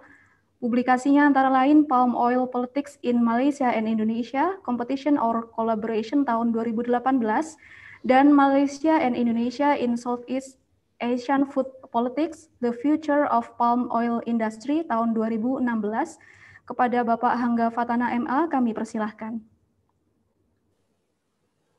Terima kasih Bu Masito. Bismillahirrahmanirrahim. Alhamdulillah wassalatu wassalamu ala Rasulillah wa alihi wa wa man wala. Ibu dan Bapak yang berbahagia, yang saya hormati, Assalamualaikum warahmatullahi wabarakatuh. Selamat sore dan terima kasih Bu Masito tadi pengantar yang hangat dan uh, baik begitu dan uh, mohon izin karena saya nampaknya uh, punya waktu sebagaimana uh, narasumber yang lain uh, 10 menit. Uh, dan ini kalau saya lihat urutan saya uh, berbicara terakhir dan saya lihat banyak sekali tadi yang sudah disampaikan oleh uh, narasumber-narasumber maupun pengulas yang lain begitu ya. Saya ingin menyampaikan dari atau saya ingin menghidangkan pandangan saya setelah membaca buku yang saya terima beberapa pekan yang lalu dari uh, Pak Wahid, uh, Pak Dubes Wahid, ya, yang ini uh, kemudian kalau diizinkan, saya ingin menghidangkan pandangan yang mana saya ingin menggunakan perspektif dari barangkali sebagian besar audiens yang datang pada acara hari ini, yaitu mahasiswa. Ibu dan Bapak yang saya hormati, saya melihat uh, tadi sudah disampaikan oleh uh, banyak uh, narasumber maupun pengulas yang lain ya bahwa uh, tulisan dalam uh, buku Pak Dubes Wahid ini adalah tulisan yang ringan dan mudah dipahami. Uh, saya setuju dengan apa uh, pandangan itu begitu dan uh, tapi sebenarnya ada makna ringan yang saya lihat dari sudut pandang lain. Uh, meskipun tulisan itu ringan, tapi saya yakin uh, in, di balik dari um, uh, tulisan yang mudah dipahami ini, uh, Ibu dan Bapak, ada uh, keterampilan, ada skill, ada uh, pengalaman yang dimiliki oleh Bapak Dubes Wahid ya dalam menulis yang mana itu didapati atau dibangun begitu dalam selama perjalanan karir beliau yang tentunya perjalanan karirnya tidak ringan begitu. Eh, dan dalam konteks ini, uh, Ibu dan Bapak dan teman-teman semua, uh, khususnya teman-teman mahasiswa, jurusan hubungan internasional maupun jurusan lain di UII maupun uh, di universitas yang lain, kami ucapkan selamat datang juga. Uh, saya ingin mengulas ya bahwa uh, dari uh, sekian banyak cerita yang dihidangkan oleh Pak Dubes Wahid dalam buku beliau, ada hal yang secara umum uh, ingin uh, saya uh, sampaikan ini khusus untuk uh, teman-teman mahasiswa yang uh, sudah mulai mempersiapkan karir. Kalau boleh saya katakan, yang pertama mungkin untuk mahasiswa yang ingin mempersiapkan karir tentu menjadi diplomat. Ini buku ini wajib untuk dibaca, wajib untuk dipahami, begitu ya. Tetapi secara umum juga untuk semua mahasiswa yang punya mimpi masa depan apa pun, saya lihat ada banyak sekali uh, tangible skill atau keterampilan yang bisa uh, kita dapatkan, bisa kita pelajari dari buku ini ya. Yang itu akan sangat bermanfaat kalau kita transfer dalam uh, dunia kerja. Dari sudut pandang penyelenggara pendidikan tinggi dalam hal ini adalah program studi, kami melihat ada ceruk yang diisi oleh buku Pak Wahid ini yang ini tidak didapatkan di dalam ruang-ruang kelas. Apa itu? Eh, teman-teman yang berbahagia, kalau eh, ada banyak cerita, tapi izinkan saya untuk dapat eh, me, apa, membuat klasifikasi atau mengelompokkan ya beberapa hal ya dari cerita-cerita Pak Dubes Wahid ini, yang itu kemudian saya yakin hal ini adalah apa ilmu, adalah wawasan yang dapat dipelajari oleh mahasiswa apa pun mimpi kalian nanti, begitu ya untuk kemudian kalian akan memiliki perjalanan karir yang lancar, yang gemilang seperti Pak Dubes Wahid. Pada prinsipnya itu bisa dikemas dalam satu kata, nilai-nilai profesionalisme. Nah, nilai-nilai profesionalisme seperti apa? Saya mencoba mengelompokkan. Mudah-mudahan Pak Pak Dubes Wahid ini berkenan dengan pengelompokan yang yang saya uh, ajukan gitu. Yang pertama saya melihat ada adanya uh, keterampilan interpersonal dan uh, communication skill ya. Jadi interpersonal dan communication skill ini, saya lihat banyak cerita di dalam buku uh, Pak Dubes Wahid ini yang menunjukkan bahwa um, seseorang yang memiliki keterampilan interpersonal, komunikasi interpersonal yang baik, itu cenderung mudah diterima oleh siapa saja. Ya, ada banyak uh, studi kasus, misalnya ketika uh, apa uh, Pak uh, Dubes bertugas di Australia dan saat itu uh, ditanya tentang uh, apa oleh wartawan tentang uh, bagaimana uh, apa statement dari uh, Presiden Abdurrahman Wahid gitu ya tentang uh, terorisme di situ. Dijawab dengan sangat elegan oleh Pak Dubes ya, you could judge yourself. I don't want to make any comment. Untuk bisa menjawab dan akhirnya uh, jawaban Pak Dubes ini ya itu uh, berhasil ya. Uh, saya katakan kalau saya lihat dari uh, cerita tersebut uh, tidak uh, berhasil untuk menahan adanya pemberitaan yang negatif tentang uh, apa uh, terorisme maupun tentang uh, anggota DPR yang diceritakan di situ. Juga ketika Pak Dubes ditanya tentang uh, atau pada saat itu ada salah satu mitra uh, wicara Pak Dubes begitu dan ditanya tentang sikap beliau terhadap Presiden Soeharto gitu. Dijawab dengan sangat elegan, I am a professional, I work for my country and president can change gitu. Nah, jawaban-jawaban semacam ini nampaknya seperti yang tertulis dalam buku itu terdengar ringan, Ibu dan Bapak dan teman-teman mahasiswa. Tetapi jawaban seperti ini itu uh, hanya bisa dibuat oleh uh, apa uh, seseorang yang memiliki komunikasi interpersonal yang uh, sangat baik tentunya.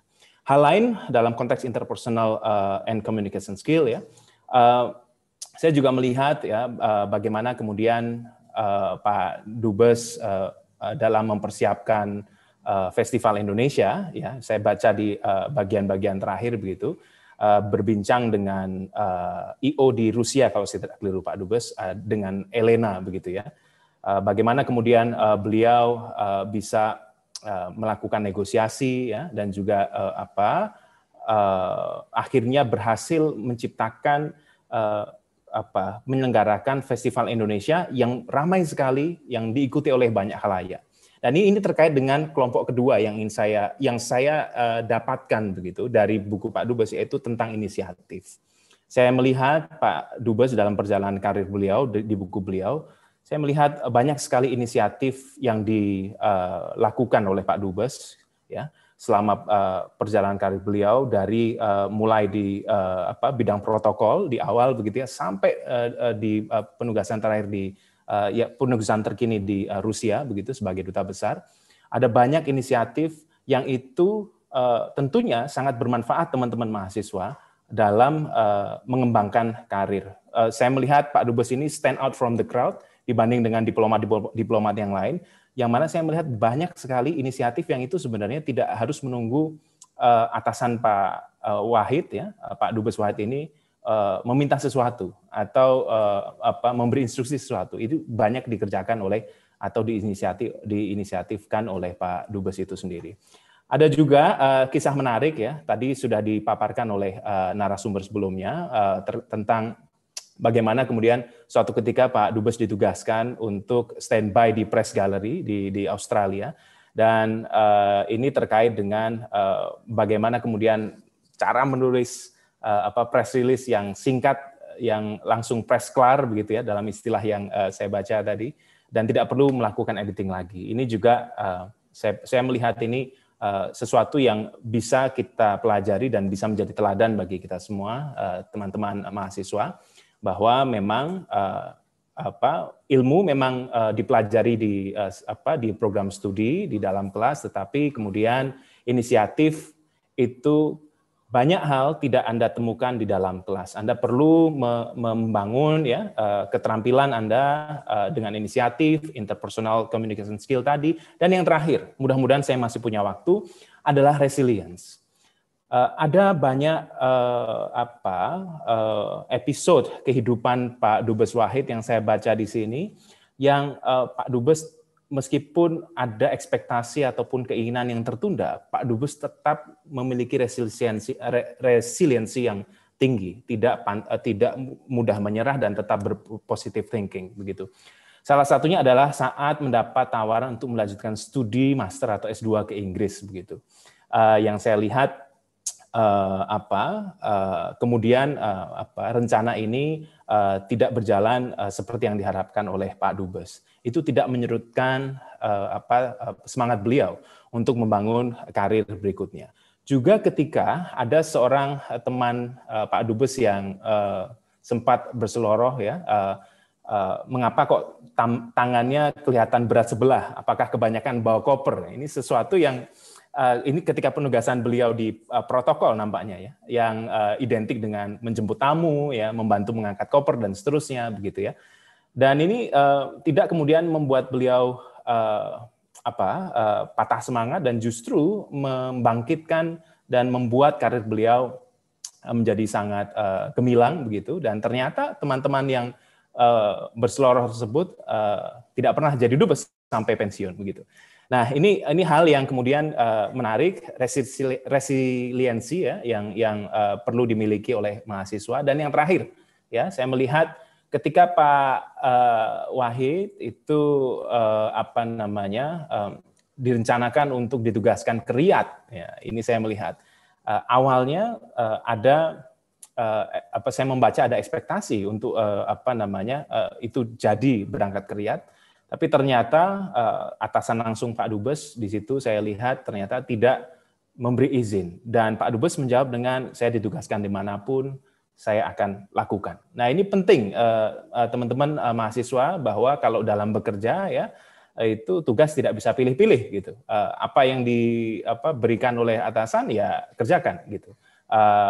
Tidak semua tugas kita yakin bahwa dalam perjalanan karir itu tidak mungkin semua tugas kita suka, tapi kita lakukan dengan yang terbaik begitu. Dan ini apa? Artinya sekali lagi saya ingin menggarisbawahi dan tadi akhirnya setelah tidak jadi kreat ternyata malah dapat yang lebih bagus yaitu langsung dicarikan oleh Sekjen Kementerian Luar Negeri dan langsung di apa ditugaskan ke Melbourne. Jadi uh, sesuatu yang uh, apa banyak nilai-nilai yang bisa kita teladani teman-teman semuanya dalam buku ini yang tidak teman-teman dapatkan di kelas untuk mempelajari meniti karir sebagai diplomat maupun meniti karir dalam konteks apa pun, dalam hal apa pun yang itu membutuhkan nilai-nilai profesionalisme, di antaranya tadi saya uh, coba kelompokkan adanya inisiatif, komunikasi interpersonal yang uh, apa namanya baik. Dan yang terakhir adalah resiliensi ya yang uh, kemudian uh, saya lihat uh, syarat sekali dapat saya temukan tidak jarang begitu sering dalam uh, tulisan di dalam buku Pak Dubes dari awal sampai akhir. Demikian Ibu dan Bapak dan Ibu moderator, Bu Masito yang saya hormati. Mudah-mudahan berkenan dan sekali lagi saya ingin ucapkan selamat kepada Pak Dubes karena ini saya pikir buku itu adalah the living legacy gitu. Jadi um, apa nilai-nilai yang uh, tertanam dalam buku ini, insya Allah saya percaya bagi siapa pun yang membacanya, khususnya bagi mahasiswa ya ini akan dapat memberikan inspirasi berkarya bekerja dengan rasa untuk bisa tetap memberikan yang terbaik ya. Dan uh, salah satu uh, dan bukti yang sudah nyata adalah perjalanan karir Pak Dubes yang begitu baik begitu gemilang uh, sejak awal dari uh, perjalanan di uh, departemen atau Kementerian Luar Negeri. Terima kasih, mohon maaf atas segala kekurangan. Assalamualaikum warahmatullahi wabarakatuh. Waalaikumsalam warahmatullahi wabarakatuh. Terima kasih Bapak Hangga Fatana MA saya ada beberapa poin yang mungkin bisa saya sarikan dari pemaparan para pembicara.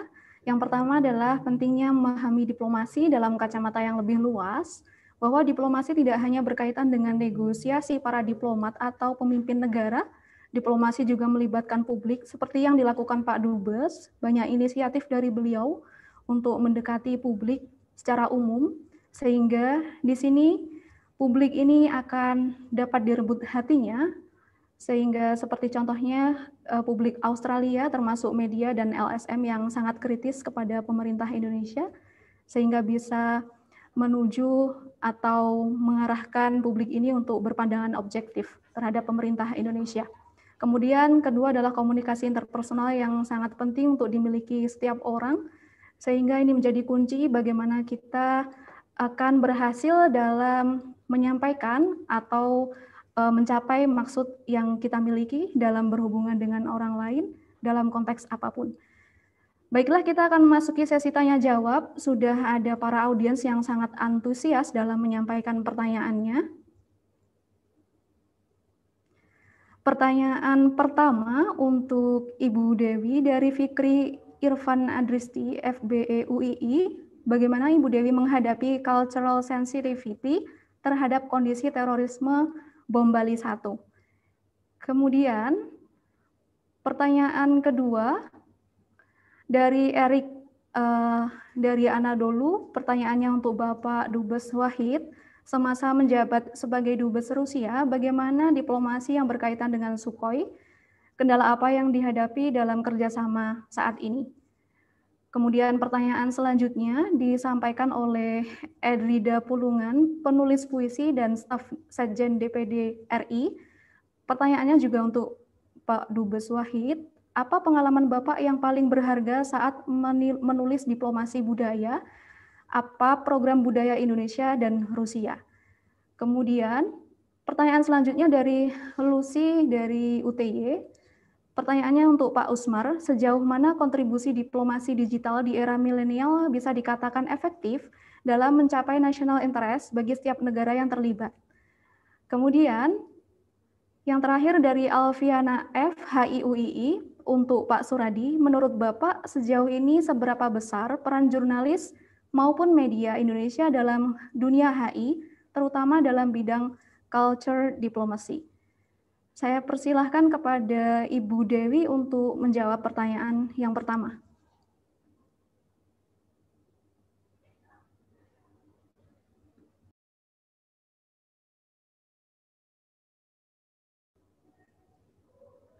Mohon izin untuk Mohon izin untuk di-unmute Bu Dewi. Ya. Um, pertanyaannya sangat um, buat saya sangat luas, tapi saya asumsikan bahwa pertanyaan itu uh, bertumpu pada bagaimana sikap saya kepada uh, dalam berhubungan dengan dengan uh, komunitas Australia tentang terorisme. Um, apakah anda mengira bahwa orang orang Australia menganggap semua orang Indonesia teroris? Itu tidak tidak benar itu ya. Jadi um, pertama pertama pertama-tama um, sebelum kita men, menyikapi sikap itu, kita harus ingat um, bahwa komunitas Australia itu sangat beragam. Tentu ada yang yang yang cupet yang mengatakan, oh um, orang Indonesia itu semua teroris ya. karena ada satu dua yang yang ketahuan meneror orang lain. Um, tapi pada umumnya komunitas, Australia itu um, tidak menganggap begitu. Um, kalau kita kita kenal komunitas Australia seperti apa, kita bisa menyik, uh, menyikapinya jadi kalau kita berhadapan dengan orang yang cepat, kita harus pelan-pelan mengatakan, tunggu dulu, yang yang meneror siapa begitu, um, yang diteror siapa. Nah kadang-kadang mereka malah um, tercengang eh, dan sadar bahwa mereka sebetulnya tidak tahu. Begitu kalau begitu ya yang yang um, Anda tanyakan itu jawaban saya. Kalau ada segi-segi um, yang belum saya saya jawab, uh, silakan tanya lebih jauh. Terima kasih.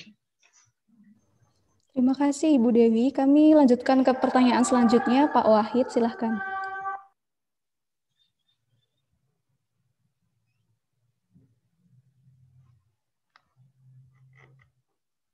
Belum dia baca ternyata ibunya membaca dulu. Dan ibunya tuh stroke sebelumnya stroke. Jadi setelah baca saya dia bisa tertawa katanya. Waduh saya merasa saya bisa memberikan amal buat ibunya teman saya karena setelah baca buku saya uh, beliau bisa apa tertawa itu. Uh, baik pertanyaan yang kedua tentang Sukhoi waktu panjang sekali ya ceritanya itu.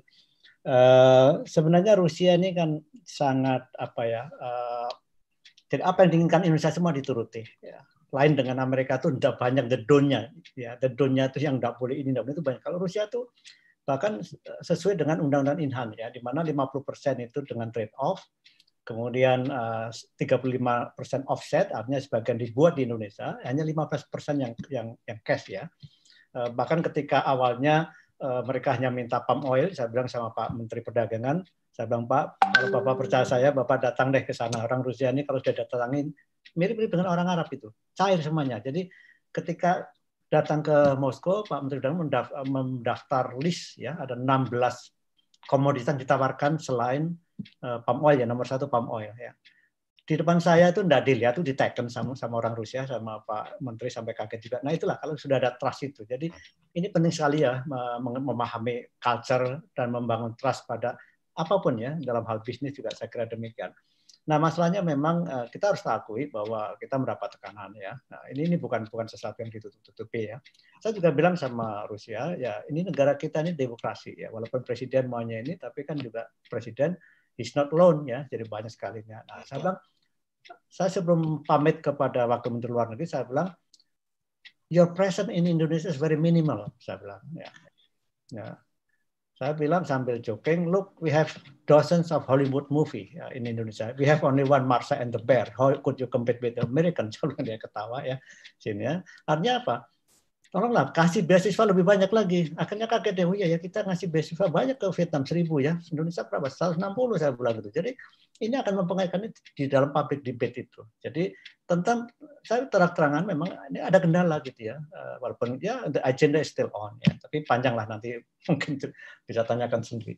Yang kedua eh, pengalaman paling berharga ya dalam eh, apa pendekatan budaya itu ya tadi seperti saya katakan di awal ya kekuatan kita sebenarnya di budaya. Saya bilang sama beberapa kalangan di Rusia ketika saya memberikan ceramah juga umum, saya bilang mungkin tidak ada di negara as diverse as Indonesia ya dengan 700 suku bangsa dan dengan uh, apa karena yang luar biasa. And until now Western United ada seorang profesor yang menanyakan ke saya ketika uh, saya bicara di Tom State University. Saya bilang gimana Indonesia bisa bersatu sampai sekarang kita sudah bubar ya. Saya bilang ini this is the, the wisdom of our founding fathers ya. Bayangkan 28 Oktober 28 ya. Sumpah Pemuda itu sudah menyebutkan salah satu adalah berbahasa Indonesia. Padahal 40% orang Indonesia berbahasa Jawa. Ini juga the wisdom orang Jawa, tapi juga kita tahu orang Jawa ini bahasa Jawa ini tidak mudah ya. Bahasa Jawa itu bagus untuk maki-maki orang nah, itu banyak sekali kalau Jawa Timur sama Kebumenan itu ya Banyumas itu wah lengkap. Tapi untuk menjadi bahasa formal agak sulit benar. Nah, kita juga terima itu. Banyak negara kan masih menjadi masalah mengenai. Nah, ini salah satu saya kira hal yang mendekatkan kita ya. Yang mayoritas tidak memaksakan diri. Jadi inilah uh, hal yang saya kira sangat positif di Indonesia. Nah, atas dasar itu saya bilang saya lakukan pertama di Melbourne ternyata berhasil. Dan ketika pertama festival berhasil wali kota Melbourne Johnson ya Bu Dewi tahu ya Johnson dia bilang Wahid I have money for you. Sampai begitu dikasih uang. Kemudian dari uh, anggota parlemen asal Kamboja Hong Lim dia bilang Wahid there is money at the Department of Multicultural Affairs. Karena ini bagus sekali. Jadi kalau kita tidak punya duit banyak pendekatannya budaya. Tapi di situ juga kita jualan. Ya terakhir di Festival Indonesia 2019 ya Pak Suradi datang Selain festival itu ada 177 booth seluruhnya Indonesia dan seluruhnya jualan termasuk jualan bakso ada di situ. Nah, karena apa? Wali kota melihat ini this is the new icon in Moscow sehingga tuh lapangan ya 16,5 hektar Bu Dewi. Kalau di Federation Square kan kecil ya cuma di situ. Ini di Rusia 16,5 hektar dan I got free. Bahkan uh, wali kota memberikan uh, dukungan promosi di di metro bawah tanah yang setiap hari itu 9 juta orang. I don't spend any money. Jadi Turki membuat ah, sekarang sama itu 10 kali dari yang saya punya duit dan mereka bayar cash langsung ke IO. Nah cerita Pak Hangga tadi IO-nya itu bingung juga waktu saya mau mendengarkan uh, Mopin Festival dia bilang look ambassador I've been successful in organizing Abu Dhabi Festival last year. Saya bilang look I was ambassador in Abu Dhabi for three and a half years. They have unlimited money nomor dan uangnya nggak pakai seri lah kalau orang bahasa Jawanya ya. Itu gimana? Kamu cari duit juga buat saya. Terus gimana caranya? Ya kamu list daftar perusahaan yang tertarik Indonesia, nanti suratnya dari saya, you follow up. Dan dia mau betul-betul ah, sekarang dia sudah besar, dia merasa besar dengan Festival Indonesia dan sekarang dia tidak pernah nyari profit untuk kita, tapi dia ditunjuk oleh SQ, kedutaan-kedutaan lain pakai dia. Jadi dia dengan kita ini saya kira ya nilai persahabatan ya seperti saya dan Pak Osmar. Saya tidak nyangka Pak Osmar kita ada 40 tahun dari masa-masa sengsara ya kita Mungkin mahasiswa sekarang ini beda di Jogja Pak Hangga ya. Waktu saya kuliah Pak Hangga nyari kos yang paling murah. Sekarang tuh mahasiswa nyari kos yang mahal, ya kan enggak? Ya sekarang yang booming di Jogja itu kos-kosan yang mahal, yang ada AC, ada apa, in suite, in suite ya Pak Usmar ya. Kita kan dulu sederhana sekali. Jadi memang ya dunia sudah berubah tentunya ya. Tapi yang saya ingin sampaikan ya tadi saya enggak komentar Bangga itu saya yakin pasti membaca semua buku saya ini karena udah buat analisa seperti itu. Jadi saya ingin memberikan pesan ya, kalau kita kerja ya, don't ever refuse gitu. Jangan pernah menolak pekerjaan. Kerjakan dengan salah satu dari apa ya eh, bukunya Stanley yang yang yang Millionaire Mind gitu ya. Dari 100 kesuksesan orang, nomor satu kan kejujuran, nomor dua disiplin, kerja lebih dari yang lain. AQ itu nomor 20 sekian gitu ya. Eh, IP nomor 29 kalau tidak salah. Jadi sekolah favorit nomor 28 kalau tidak salah. Jadi UGM nomor 28 itu Pak Usmar sebenarnya kalau untuk sukses. Jadi ini fakta gitu. Jadi saya gagal dapat beasiswa, saya ikutin aja gitu. Tapi akhirnya pada satu saat karena jalur saya penerangan, bayangan dulu itu Pak Semar tahu persis ya. Kalau kita ditemukan di protokol konsuler atau penerangan, itu warga kelas tiga itu. Satu politik, dua ekonomi. Nah, ternyata alhamdulillah saya lima kali penempatan, tiga kali kepala perwakilan dan tidak banyak ya. ya saya bukan mau sombong, tapi itu tidak banyak ya. Tapi yang saya lakukan sebenarnya saya hanya berdasarkan sincerity ya. Kalau kita sincere, kita bisa ya. Seperti saya mendirikan masjid di situ ada di uh, Melbourne ya, masjid pertama di Australia itu dua tahun loh. Di Los Angeles sampai sekarang belasan tahun tidak jadi-jadi itu masjid. Ya. Kemudian juga ada cerita menarik, mungkin Pak Angga eh, baca juga, jadi ada preman ya, Pak E itu ya, yang, yang saya paksa jadi ustadz. Dan betul sampai kemarin kemarin masih datang ke rumah saya setelah lima beberapa tahun datang dan sekarang dia betul-betul sadar gitu dia kerja yang benar gitu ya dengan pendekatan saya nyasin aja lah eh, dulu dia naik motor-motor gede ya saya deg-degan juga waktu deketin dia tapi dia ternyata ngomong kemarin juga dia takut juga karena waktu itu dia masih ngedrak gitu dia, kemarin baru cerita waktu saya kenal Pak Konjen saya takut juga loh, saya masih ngedrak Pak. Saya bilang, ya enggak apa-apa. Yang penting kan Anda sadar ya. Jadi ya pendekatan kampung lah kadang-kadang itu yang saya lakukan. Jadi mungkin itu uh, mengakhiri jawaban saya. Terima kasih. Terima kasih Pak Dubes Wahid atas jawabannya. Kemudian saya akan beralih kepada Pak Usmar untuk menjawab pertanyaan dari audiens. Silakan Pak Usmar. Mbak Dian. Uh, terima kasih. Ini sebenarnya pertanyaan ini bukan harusnya bukan ke saya, harusnya pada Pak Dubes. Tapi saya akan uh, coba menjawabnya bahwa diplomasi digital itu misalnya pengalaman saya bagaimana saya ini mungkin dianggap sama Pak Wai itu macam makelar lah. Makelar bagaimana kerjasama antara Lombok ini, bagaimana UGM dengan Rusia dan lain-lain. Jadi perundingan-perundingan itu melalui digital aja. MOU itu melalui digital, dan tangannya juga melalui digital sehingga nggak usah harus pergi ke Rusia dan sebagainya. Nanti kalau memang harus kita pergi ke sana untuk melihat, maka kita harus melihat secara nyata. Jadi era digitalisasi ini memang sangat memberikan keuntungan bagi kita. Sebagai contoh sekarang, bayangan Pak Victor itu dari eh, Moskow, Bu Dewi dari Melbourne, sehingga kita bisa berbicara dengan enak dan sebagainya uh, ini keuntungan kita juga uh, bisa digunakan untuk ber, berdiplomasi. Uh, mungkin Pak Dubes bisa menjawab pertanyaan ini. Saya kira Pak Dubes yang relevan untuk menjawab pertanyaan ini. Monggo Pak Dubes. Ya, ya jadi memang ya dunia berubah ya. Hmm. Dari istilah nama duta besar luar biasa dan berkuasa penuh. Itu kan sebenarnya dibuat pada zaman Romawi ketika tidak ada sistem komunikasi. Sehingga dubes itu you harus memutuskan di lapangan karena you tidak bisa kontak dengan presiden ketika itu. Walaupun sekarang nama itu masih dibuat, sebenarnya saya agak risih juga ya. Luar biasa dan berkuasa penuh. Saya bilang yang berkuasa penuh itu istri saya. Saya bilang saya lu biasa di luar bukan luar biasa. Jadi tinggal dubes saja gitu sekarang ini. Nah, juga kalau kita lihat ya statement dari Henry Wotton.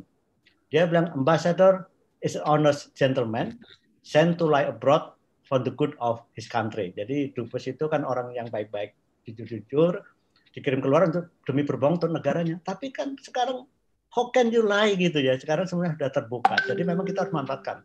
Jadi di motor klasik itu sudah sudah kita lama tanggalkan. Misalnya prinsip reciprocity. Sudah tidak berlaku. Yang penting yang yang kita perlu ya kita datang lebih banyak. Why not gitu loh. Jadi itu yang dilakukan oleh banyak negara saat ini ya. Walaupun kita kadang-kadang masih juga tergantung masalah reciprocity. Nah, kemudian penggunaan penggunaan uh, digital media itu luar biasa ya.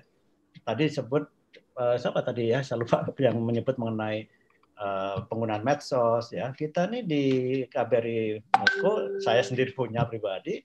Ke KBRI juga ada Facebook, Instagram, Twitter, ada di situ. Dan kita manfaatkan betul. Kemudian jaringan dengan media kita baik. Sehingga berita-berita di Moskow itu kalau tidak salah mungkin KR itu internasional newsnya itu paling banyak dari Moskow ya. Karena ya itu menjaga apa ya pertemanan itu yang yang mahal. Kadang-kadang saya itu dari awal menganggap bahwa jurnalis itu adalah our counterpart gitu ya. Jadi ya saya tidak pernah minta untuk ditulis ternyata dia nulis dan dia juga tahu mana ya karena saya bicara belak ya tapi itulah uh, Indian itu adalah trust ya menjaga Eh, pertemanan dalam bukunya eh, eh, Stanley itu networking itu silaturahmi lah bahasa kita ini. Nah, jadi semua media itu kita kita manfaatkan. Ya sekarang juga kita sekarang tuh ada working group misalnya masalah COVID misalnya kemarin tuh ya. Setelah Presiden Jokowi maupun Pak Putin diikuti dengan working group ya di tingkat Uh, senior official. Dan itu tidak perlu harus ketemu. Jadi cukup dengan uh, ya web video conference dan sebagainya. Memang ada hal yang kita harus offline harus bertemu. Nah itu seninya di situ sebenarnya. Jadi uh, kita manfaatkan. Kita seperti festival Indonesia itu kita gunakan luar biasa ya digital media di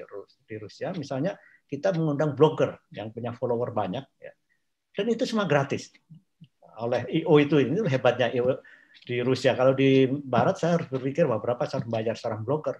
Nah ini ini juga karena karena saya membangun pertemanan, persahabatan dengan banyak pihak. Termasuk di Australia juga dengan banyak ya itu ada sen ano, uh, senator ya uh, bukan senator. Jadi di anggota parlemen uh, Victoria, saya kira Bu uh, kenal tuh Bu Dewi Hong Lim namanya. Jadi yang saya lakukan apa? Sabina, dia kadang-kadang ingin ada event mengenai Asia. Saya kiralah tari-tarian yang kita sudah ini kan. Jadi ketika kita memerlukan, dia bilang Wahid ada duit di sini. Dan dia langsung itu permintaan apa ya dana dari komunitas itu banyak sekali. Tapi begitu ditelepon Hong Lim jadi sama aja. Itu Bu Dewi tadinya saya agak loh ini kok katanya saya dijanjikan dari multicultural kok keluar saya telepon di Hong ini kok belum keluar oh sebentar Wahid. Satu jam ditelepon. Wahid udah disetujui yang tadinya di apa di atas di bawah lagi kan ambil dari bawah gitu jadi itulah apa eh, Indian itu persahabatan itu sesuatu yang sangat bagus. Saya kira bukan hanya di diplomasi, dalam bisnis trust itu luar biasa. Seperti tadi itu orang Rusia tidak melihat 16 daftar itu diteken tuh. Saya juga bingung ini. Oh, dia kan dicek satu-satu ya itu enggak itu. Jadi itulah banyak hal-hal tadi Pak Angga benar ya. Banyak hal-hal yang tidak kita tidak bisa kita pelajari di bangku kuliah. Ada satu hal juga yang saya sarankan itu untuk mahasiswa be aktif ya in any organization dan saya lakukan itu karena the process of decision making itu tidak bisa. Hanya baca buku mengenai public speaking itu tidak bisa. Ada satu cerita ini menarik ya, saya tidak sebutlah itu. Ada teman saya penempatan di multilateral, ya mungkin Pak Pak Usmar tahu juga. Ya, bahasa Inggris sudah jelas bagus. Ketika fit and proper test, ya, itu mulutnya taflif. Begitu dengar komisi satu, garang-garang sama itu, langsung tidak bisa keluar bahasa Inggrisnya. Hilang, akhirnya tidak jadi dubes. Sama aja kalau kita grogi menghadapi wartawan di Australia atau kita tiba-tiba kita grogi, ya udah hilang itu semuanya. Jadi pendewasaan diri itu tidak bisa Anda pelajari dengan buku. Ya. Jadi ya memang harus networking, harus mingle, ya, dan harus apa ya sebanyak mungkin banyak teman ya. Itulah sebenarnya intisari dari diplomasi.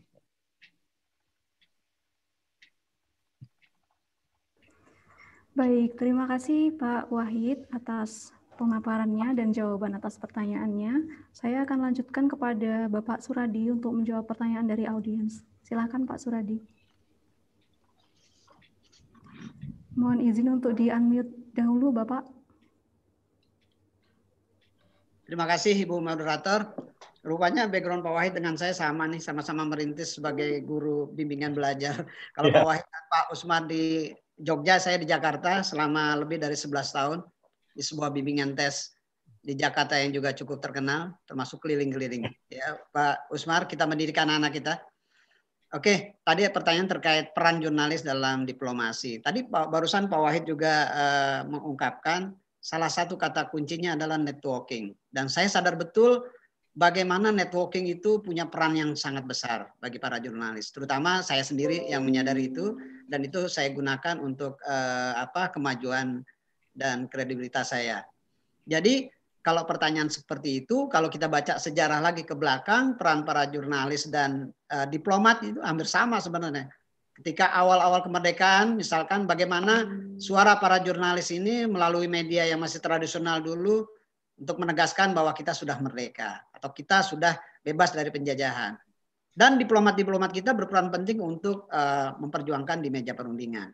Nah, saat ini dunia sudah berubah dan di era milenial, jadi uh, peran uh, jurnalis sebenarnya juga sangat besar. Bagaimana mendekati para diplomat ini untuk uh, mengungkapkan apa sih hasil kinerja mereka di negara di tempat yang mereka tugas sekarang. Apalagi dengan perkembangan uh, sistem komunikasi dan informasi saat ini sangat mudah sekali. Saya juga termasuk yang non mainstream dalam kaitan perjalanan Pak Dubes. Saya tidak pernah meliput di Kementerian Luar Negeri atau Departemen Luar Negeri. Tapi sejak awal saya berkarir di media sejak 90-an, saya ditempatkan selalu di bidang politik dan keamanan atau Polkam. Partai dan parlemen itu bagian kehidupan saya sehari-hari. Tapi saya juga tidak mau terbelenggu di situ. Artinya saya bisa menjalin networking dengan banyak kalangan yang kaitannya dengan Kementerian Luar Negeri. Termasuk juga dengan kedutaan-kedutaan besar di Indonesia. Tahun 95 saya dekati kedutaan Belanda, saya yakinkan bahwa kita punya peranan yang penting untuk dalam kaitan 50 tahun Indonesia merdeka karena waktu itu masih perdebatan antara eh, Belanda ini mengakui kita atau tidak. Nah, akhirnya saya dan beberapa jurnalis diundang ke Belanda tahun uh, eh, 95. Dan hasil reporting kita itu diamati oleh baik Indonesia maupun oleh kerajaan Belanda. Artinya apa? Apa yang kita lakukan sebenarnya menjadi mata dan telinga negara. Begitu juga apa yang dilakukan oleh diplomat di negara yang tempat bertugas itu menjadi kepanjangan tangan dari negara. Jadi sebenarnya tugas kita sama-sama nih eh, antara Pak Wahid dengan para jurnalis kita-kita bagaimana memperjuangkan harkat Indonesia, kemajuan Indonesia, kebudayaan Indonesia dan sebagainya. Cuma dalam uh, perspektif yang agak berbeda. Nah, masih dalam kaitan itu, sekarang saya rajin mengontak banyak duta besar untuk meminta apa yang telah mereka lakukan dan dengan mudahnya sekarang baik duta besar maupun stafnya itu mengirim berita, mengirim foto kegiatan dan dengan mudahnya juga kita muat di media kita melalui saluran online dan juga cetak dan kemudian linknya itu disebarluaskan ke grup-grup duta besar, ke grup istana, ke grup yang berkepentingan. Artinya apa? Peran kita sesungguhnya sangat besar sekali. Dan saya menyarankan pada mahasiswa hubungan internasional kita harus buka diri juga. Jangan hanya misalkan oh bidang kita hanya hubungan internasional, kita melupakan bidang sastra, bidang budaya, bidang kajian yang lain karena nanti ini akan berhimpitan seperti yang dilakukan oleh Pak Wahid dari sastra bisa masuk ke Kementerian Lu Kementerian Luar Negeri, kemudian dalam tugas bisa lewat pendekatan budaya dan ekonomi dan akhirnya berhasil. Nah, salah satu contoh misalkan saya tidak kenal dengan Pak Wahid sebelumnya, tapi saya yakin dengan keyakinan saya bahwa saya punya peran, saya punya media, saya kontak. Jadi perkenalan saya dengan Pak Wahid hanya lewat WA. Saya yakinkan bahwa saya punya media dan saya bisa membantu Anda Pak Wahid. Akhirnya terus dan sampai hari ini kita berteman atau bersahabat, saling membantu. Dan mahasiswa atau rekan-rekan di sini asal tahu, berita yang paling banyak yang dikirim oleh KBRI di luar negeri adalah dari Rusia. Dalam satu minggu saya bisa menerima tiga atau empat berita dari KBRI Rusia, bayangkan. Bahkan Pak Wahid sendiri yang banyak nulis juga. Sekarang staf-stafnya mendapatkan ilmu dan praktek yang luar biasa dari Pak Wahid. Hari ini pun mereka masih rajin mengirimkan berita. Dan beritanya press klar. Luar biasa. Berbeda dengan, saya nggak sebut negaranya, beberapa KBRI sudah rilisnya singkat, dan saya harus membacanya minimal 15 menit. Sedangkan dari Rusia, cukup 5 menit press klar. Lengkap dengan fotonya, lengkap dengan captionnya. Artinya apa? Eh, Pak Wahid juga memberikan legasi pada staf-staf KBRI di Moskow untuk bisa menulis, untuk bisa menuangkan setiap acara yang penting yang diketahui publik baik publik Rusia maupun publik Indonesia. Dan keuntungan saya karena kedekatan dengan Pak Wahid, akhirnya saya bisa menyaksikan uh, pameran atau festival Indonesia yang luar biasa di Moskow. Saya saya benar-benar tergetar ketika berada di tengah-tengah lapangan pameran itu Pak Wahid. Jadi luar biasa sekali. Ke mana-mana penuh dengan orang. Artinya mereka sangat bangga melihat Indonesia di pameran yang digelar oleh Pak Wahid. Pengalaman kedua saya dapatkan juga, ini salah satu KBRI yang terbaik juga saya nilai karena uh, ini pengalaman saya adalah di Madrid. Jadi waktu itu dubesnya Ibu Yuli Mumpuni uh, sudah pensiun beliau. Saya melihat juga ini alumni UGM juga nih luar biasa memang alumni UGM ya. Jadi Jadi saya tuh Pak, teman apa? saya itu. Oh iya, sampai sekarang dia masih aktif mengajar. Jadi udah pulang ke Jakarta. Jadi hampir mirip dengan Pak Wahid. Bu Yuli ini kalau ada acara bahkan menulis sendiri tengah malam. Jadi saya juga berkenalan dengan Bu Yuli lewat WA. Saya yakinkan bahwa saya punya media, saya bisa menulis, saya bisa membantu Anda dan berita-berita dari Spanyol itu luar biasa. 2017 saya diundang karena ada acara besar pameran pariwisata terbesar di dunia, ya, yang terbesar itu di Berlin, yang kedua di Madrid. Saya hadir di situ dan menyaksikan betapa aura Indonesia itu luar biasa dan berita-berita dari sana penuh. Tapi saya boleh cerita sedikit pengalaman pribadi yang saya juga yang luar biasa di pameran itu anak saya bertindak sebagai penterjemah di acara itu karena anak saya mendapatkan scholarship di Madrid dan saya meliput wah ini saya mendapatkan uh, keberkahan yang luar biasa berkat apa networking seperti yang dikatakan oleh Pak Wahid saya kira gambaran saya itu baik terima kasih Pak Suradi atas uh, jawaban dari pertanyaannya um, kami akan mengundang Dr. Victor dan Bapak Hangga untuk memberikan komentar terkait dengan buku ini acara bedah buku ini dan memberikan sekaligus penutup, kami undang Dr. Victor untuk menyampaikan. Mohon izin untuk di unmute dulu, Dr. Victor. Uh, ya, uh, saya kira uh, untuk kesimpulan, hmm. jadi buku itu sangat berguna dan uh, saya harap buku itu akan laku di Indonesia dan mungkin juga nanti Eh, buku itu akan diterjemahkan ke dalam bahasa Rusia supaya publik Rusia juga tahu apa orang Indonesia uh, berpikir tentang uh, tentang uh, ten, uh, tentang Rusia. Jadi selamat dan uh, harap uh, segala-galanya akan sukses dalam kehidupan uh, Pak Wahid. Nanti saya saya tidak tahu di mana dia sekarang kerja. Dia mungkin Eh, terus akan bekerja di Kementerian Luar Negeri atau mungkin sudah menjadi... pensiun, Pak. Jadi sekarang ya sekarang uh, sekarang pengangguran banyak acara, pengacara. Jadi sibuk tetap sibuk. ah, tetap sibuk. Mungkin akan juga menjadi dosen dan uh, untuk memaparkan pengalaman se seba sebagai sebagai duta uh, di luar negeri um, jadi kepada para mahasiswa. Ya, terima kasih. Terima kasih Dr. Victor. Saya berikan kepada Bapak Hangga untuk menyampaikan komentar dan penutupnya. Terima kasih Bu Masito, Ibu dan Bapak yang saya hormati, khususnya teman-teman mahasiswa yang berbahagia. Saya kira tidak ada alasan untuk tidak kemudian segera membaca buku ini. Eh, kami mendorong khususnya untuk mahasiswa HI ya, eh, buku ini kaya akan khasanah terkait dengan hal-hal yang perlu dikuasai oleh seseorang seorang duta besar, seorang yang berkarir sebagai diplomat maupun bagi Anda yang akan berkarir di uh, bidang apa pun. Ada banyak cerita bahkan di luar terkait dengan karya uh, karir diplomat dan juga terkait dengan uh, apa namanya uh, Kementerian Luar Negeri yang uh, apa terkesan. Dan kalau boleh ada waktu tam, apa sedikit lagi saya ingin menyampaikan ada satu cerita. Ini membuat teman-teman penasaran. Yaitu terkait dengan adanya seorang mantan duta besar Australia eh, duta besar Indonesia untuk Australia yang tadinya sudah di apa diplot untuk uh, menjadi menteri penerangan begitu dan ketika uh, apa namanya istri beliau berdiskusi dengan uh, Ibu Tin Soeharto uh, karena gap budaya kemudian uh, penugasan itu tidak jadi. Nah, seperti apa detailnya, eh, teman-teman? Ini sangat menarik. Silahkan uh, segera membaca uh, buku ini. ini. Pak, Pak Angga ya, itu ya, dalam ya. Uh, survei yang dilakukan oleh Stanley. Oh, itu ya? peran SPOS itu kan nomor 4 atau nomor 5. Ternyata itu ternyata itu bukan hanya di kita saja. Jadi peran Betul. pendamping Iya. itu Oh, bisa, begitu ya? bisa mengangkat suami, bisa menurunkan suami. Bisa menurunkan suami.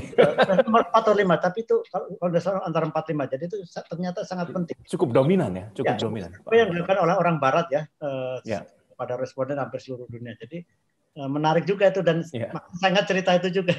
Iya, cerita itu diangkat. Eh, Terima kasih Pak Dubes Wahid dan cerita itu diangkat.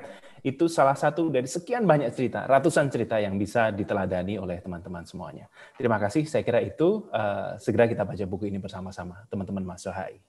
Terima kasih. Terima kasih Pak Hangga. Eh, Pak Dubes mungkin bisa diinformasikan kepada para audiens di mana bisa mendapatkan buku tersebut, Pak? Jadi eh, memang terus terang ini belum sampai ke toko buku ya. Saya enggak tahu. Ini memang permasalahan klasik di kita. Eh, jadi ini saya atas saran Pak Suradi ya ini eh, publisher kecil di Jogja ya, tapi orangnya idealis anak muda dan eh, sekarang mas memang baru langsung ke publisher sama Sofi ya ada di nanti mungkin saya share di Sofi itu di saya kira teman-teman tahu ya karena ternyata toko buku ini kadang-kadang mematikan penulis ya dan juga eh, publisher kecil gitu ya karena mereka terlalu, terlalu banyak mengambil keuntungan. Jadi mohon maaf ini ini saya sampaikan kan makanya memang belum sampai toko buku. Jadi ini ini alasan kenapa memang sekarang masih itu. Jadi saya juga ingin membantu apa ya publisher-publisher kecil itu dengan idealisme mereka. Jadi saya tidak semata-mata komersil tapi juga eh, ternyata saya belajar juga sesuatu yang baru. Ya. Sekarang saya juga banyak bekerja di sosial. Ya saya sekarang saya pendiri dari Flying Doctor Indonesia. Jadi untuk daerah-daerah terpencil di Indonesia Timur yang uh, perlu emergency. Ya memang baru notarisnya baru minggu minggu depan saya kira selesai. Kemudian saya juga penasihat di gabungan UMKM seluruh Indonesia namanya Gumkemindo jadi ternyata ya Pak Victor ya, ya ini pengacara betul pengangguran banyak acara. Ya kadang-kadang memberi eh, sekarang public lecture kan gampang ya dengan dengan apa webinar ini. Nah, tapi saya terima kasih sekali saya sangat menghargai sekali Eh, walaupun UI bukan alumni saya ya, tapi inilah ke yang kedua eh, Universitas di Indonesia memberikan apresiasi pada buku saya dengan beda buku luar biasa eh, pekerjaan teman-teman di UI dan eh, rekor saya kira partisipannya juga cukup banyak. Untuk itu terima kasih sekali lagi dan dengan senang hati kalau suatu ketika pas di Jogja COVID sudah berlalu, saya ingin berdialog ya diskusi dengan teman-teman. Terima kasih Pak Dubes. Kemudian saya ingatkan kepada audiens yang pertanyaannya telah dibacakan, mohon dapat menghubungi email HIUII di hi@uii.ac.id untuk pengiriman door prize-nya. Telah sampai di penghujung acara, kami ucapkan terima kasih kepada para pembicara yang telah meluangkan waktunya dan berbagi bersama kami yang eh, ini adalah sesuatu yang sangat berharga. Kami juga berikan apresiasi sebesar-besarnya eh, kepada para peserta yang sudah menyimak hingga akhir acara bedah buku ini.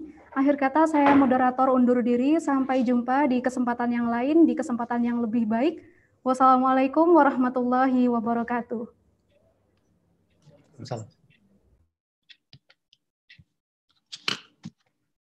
Saya kembalikan kepada MC.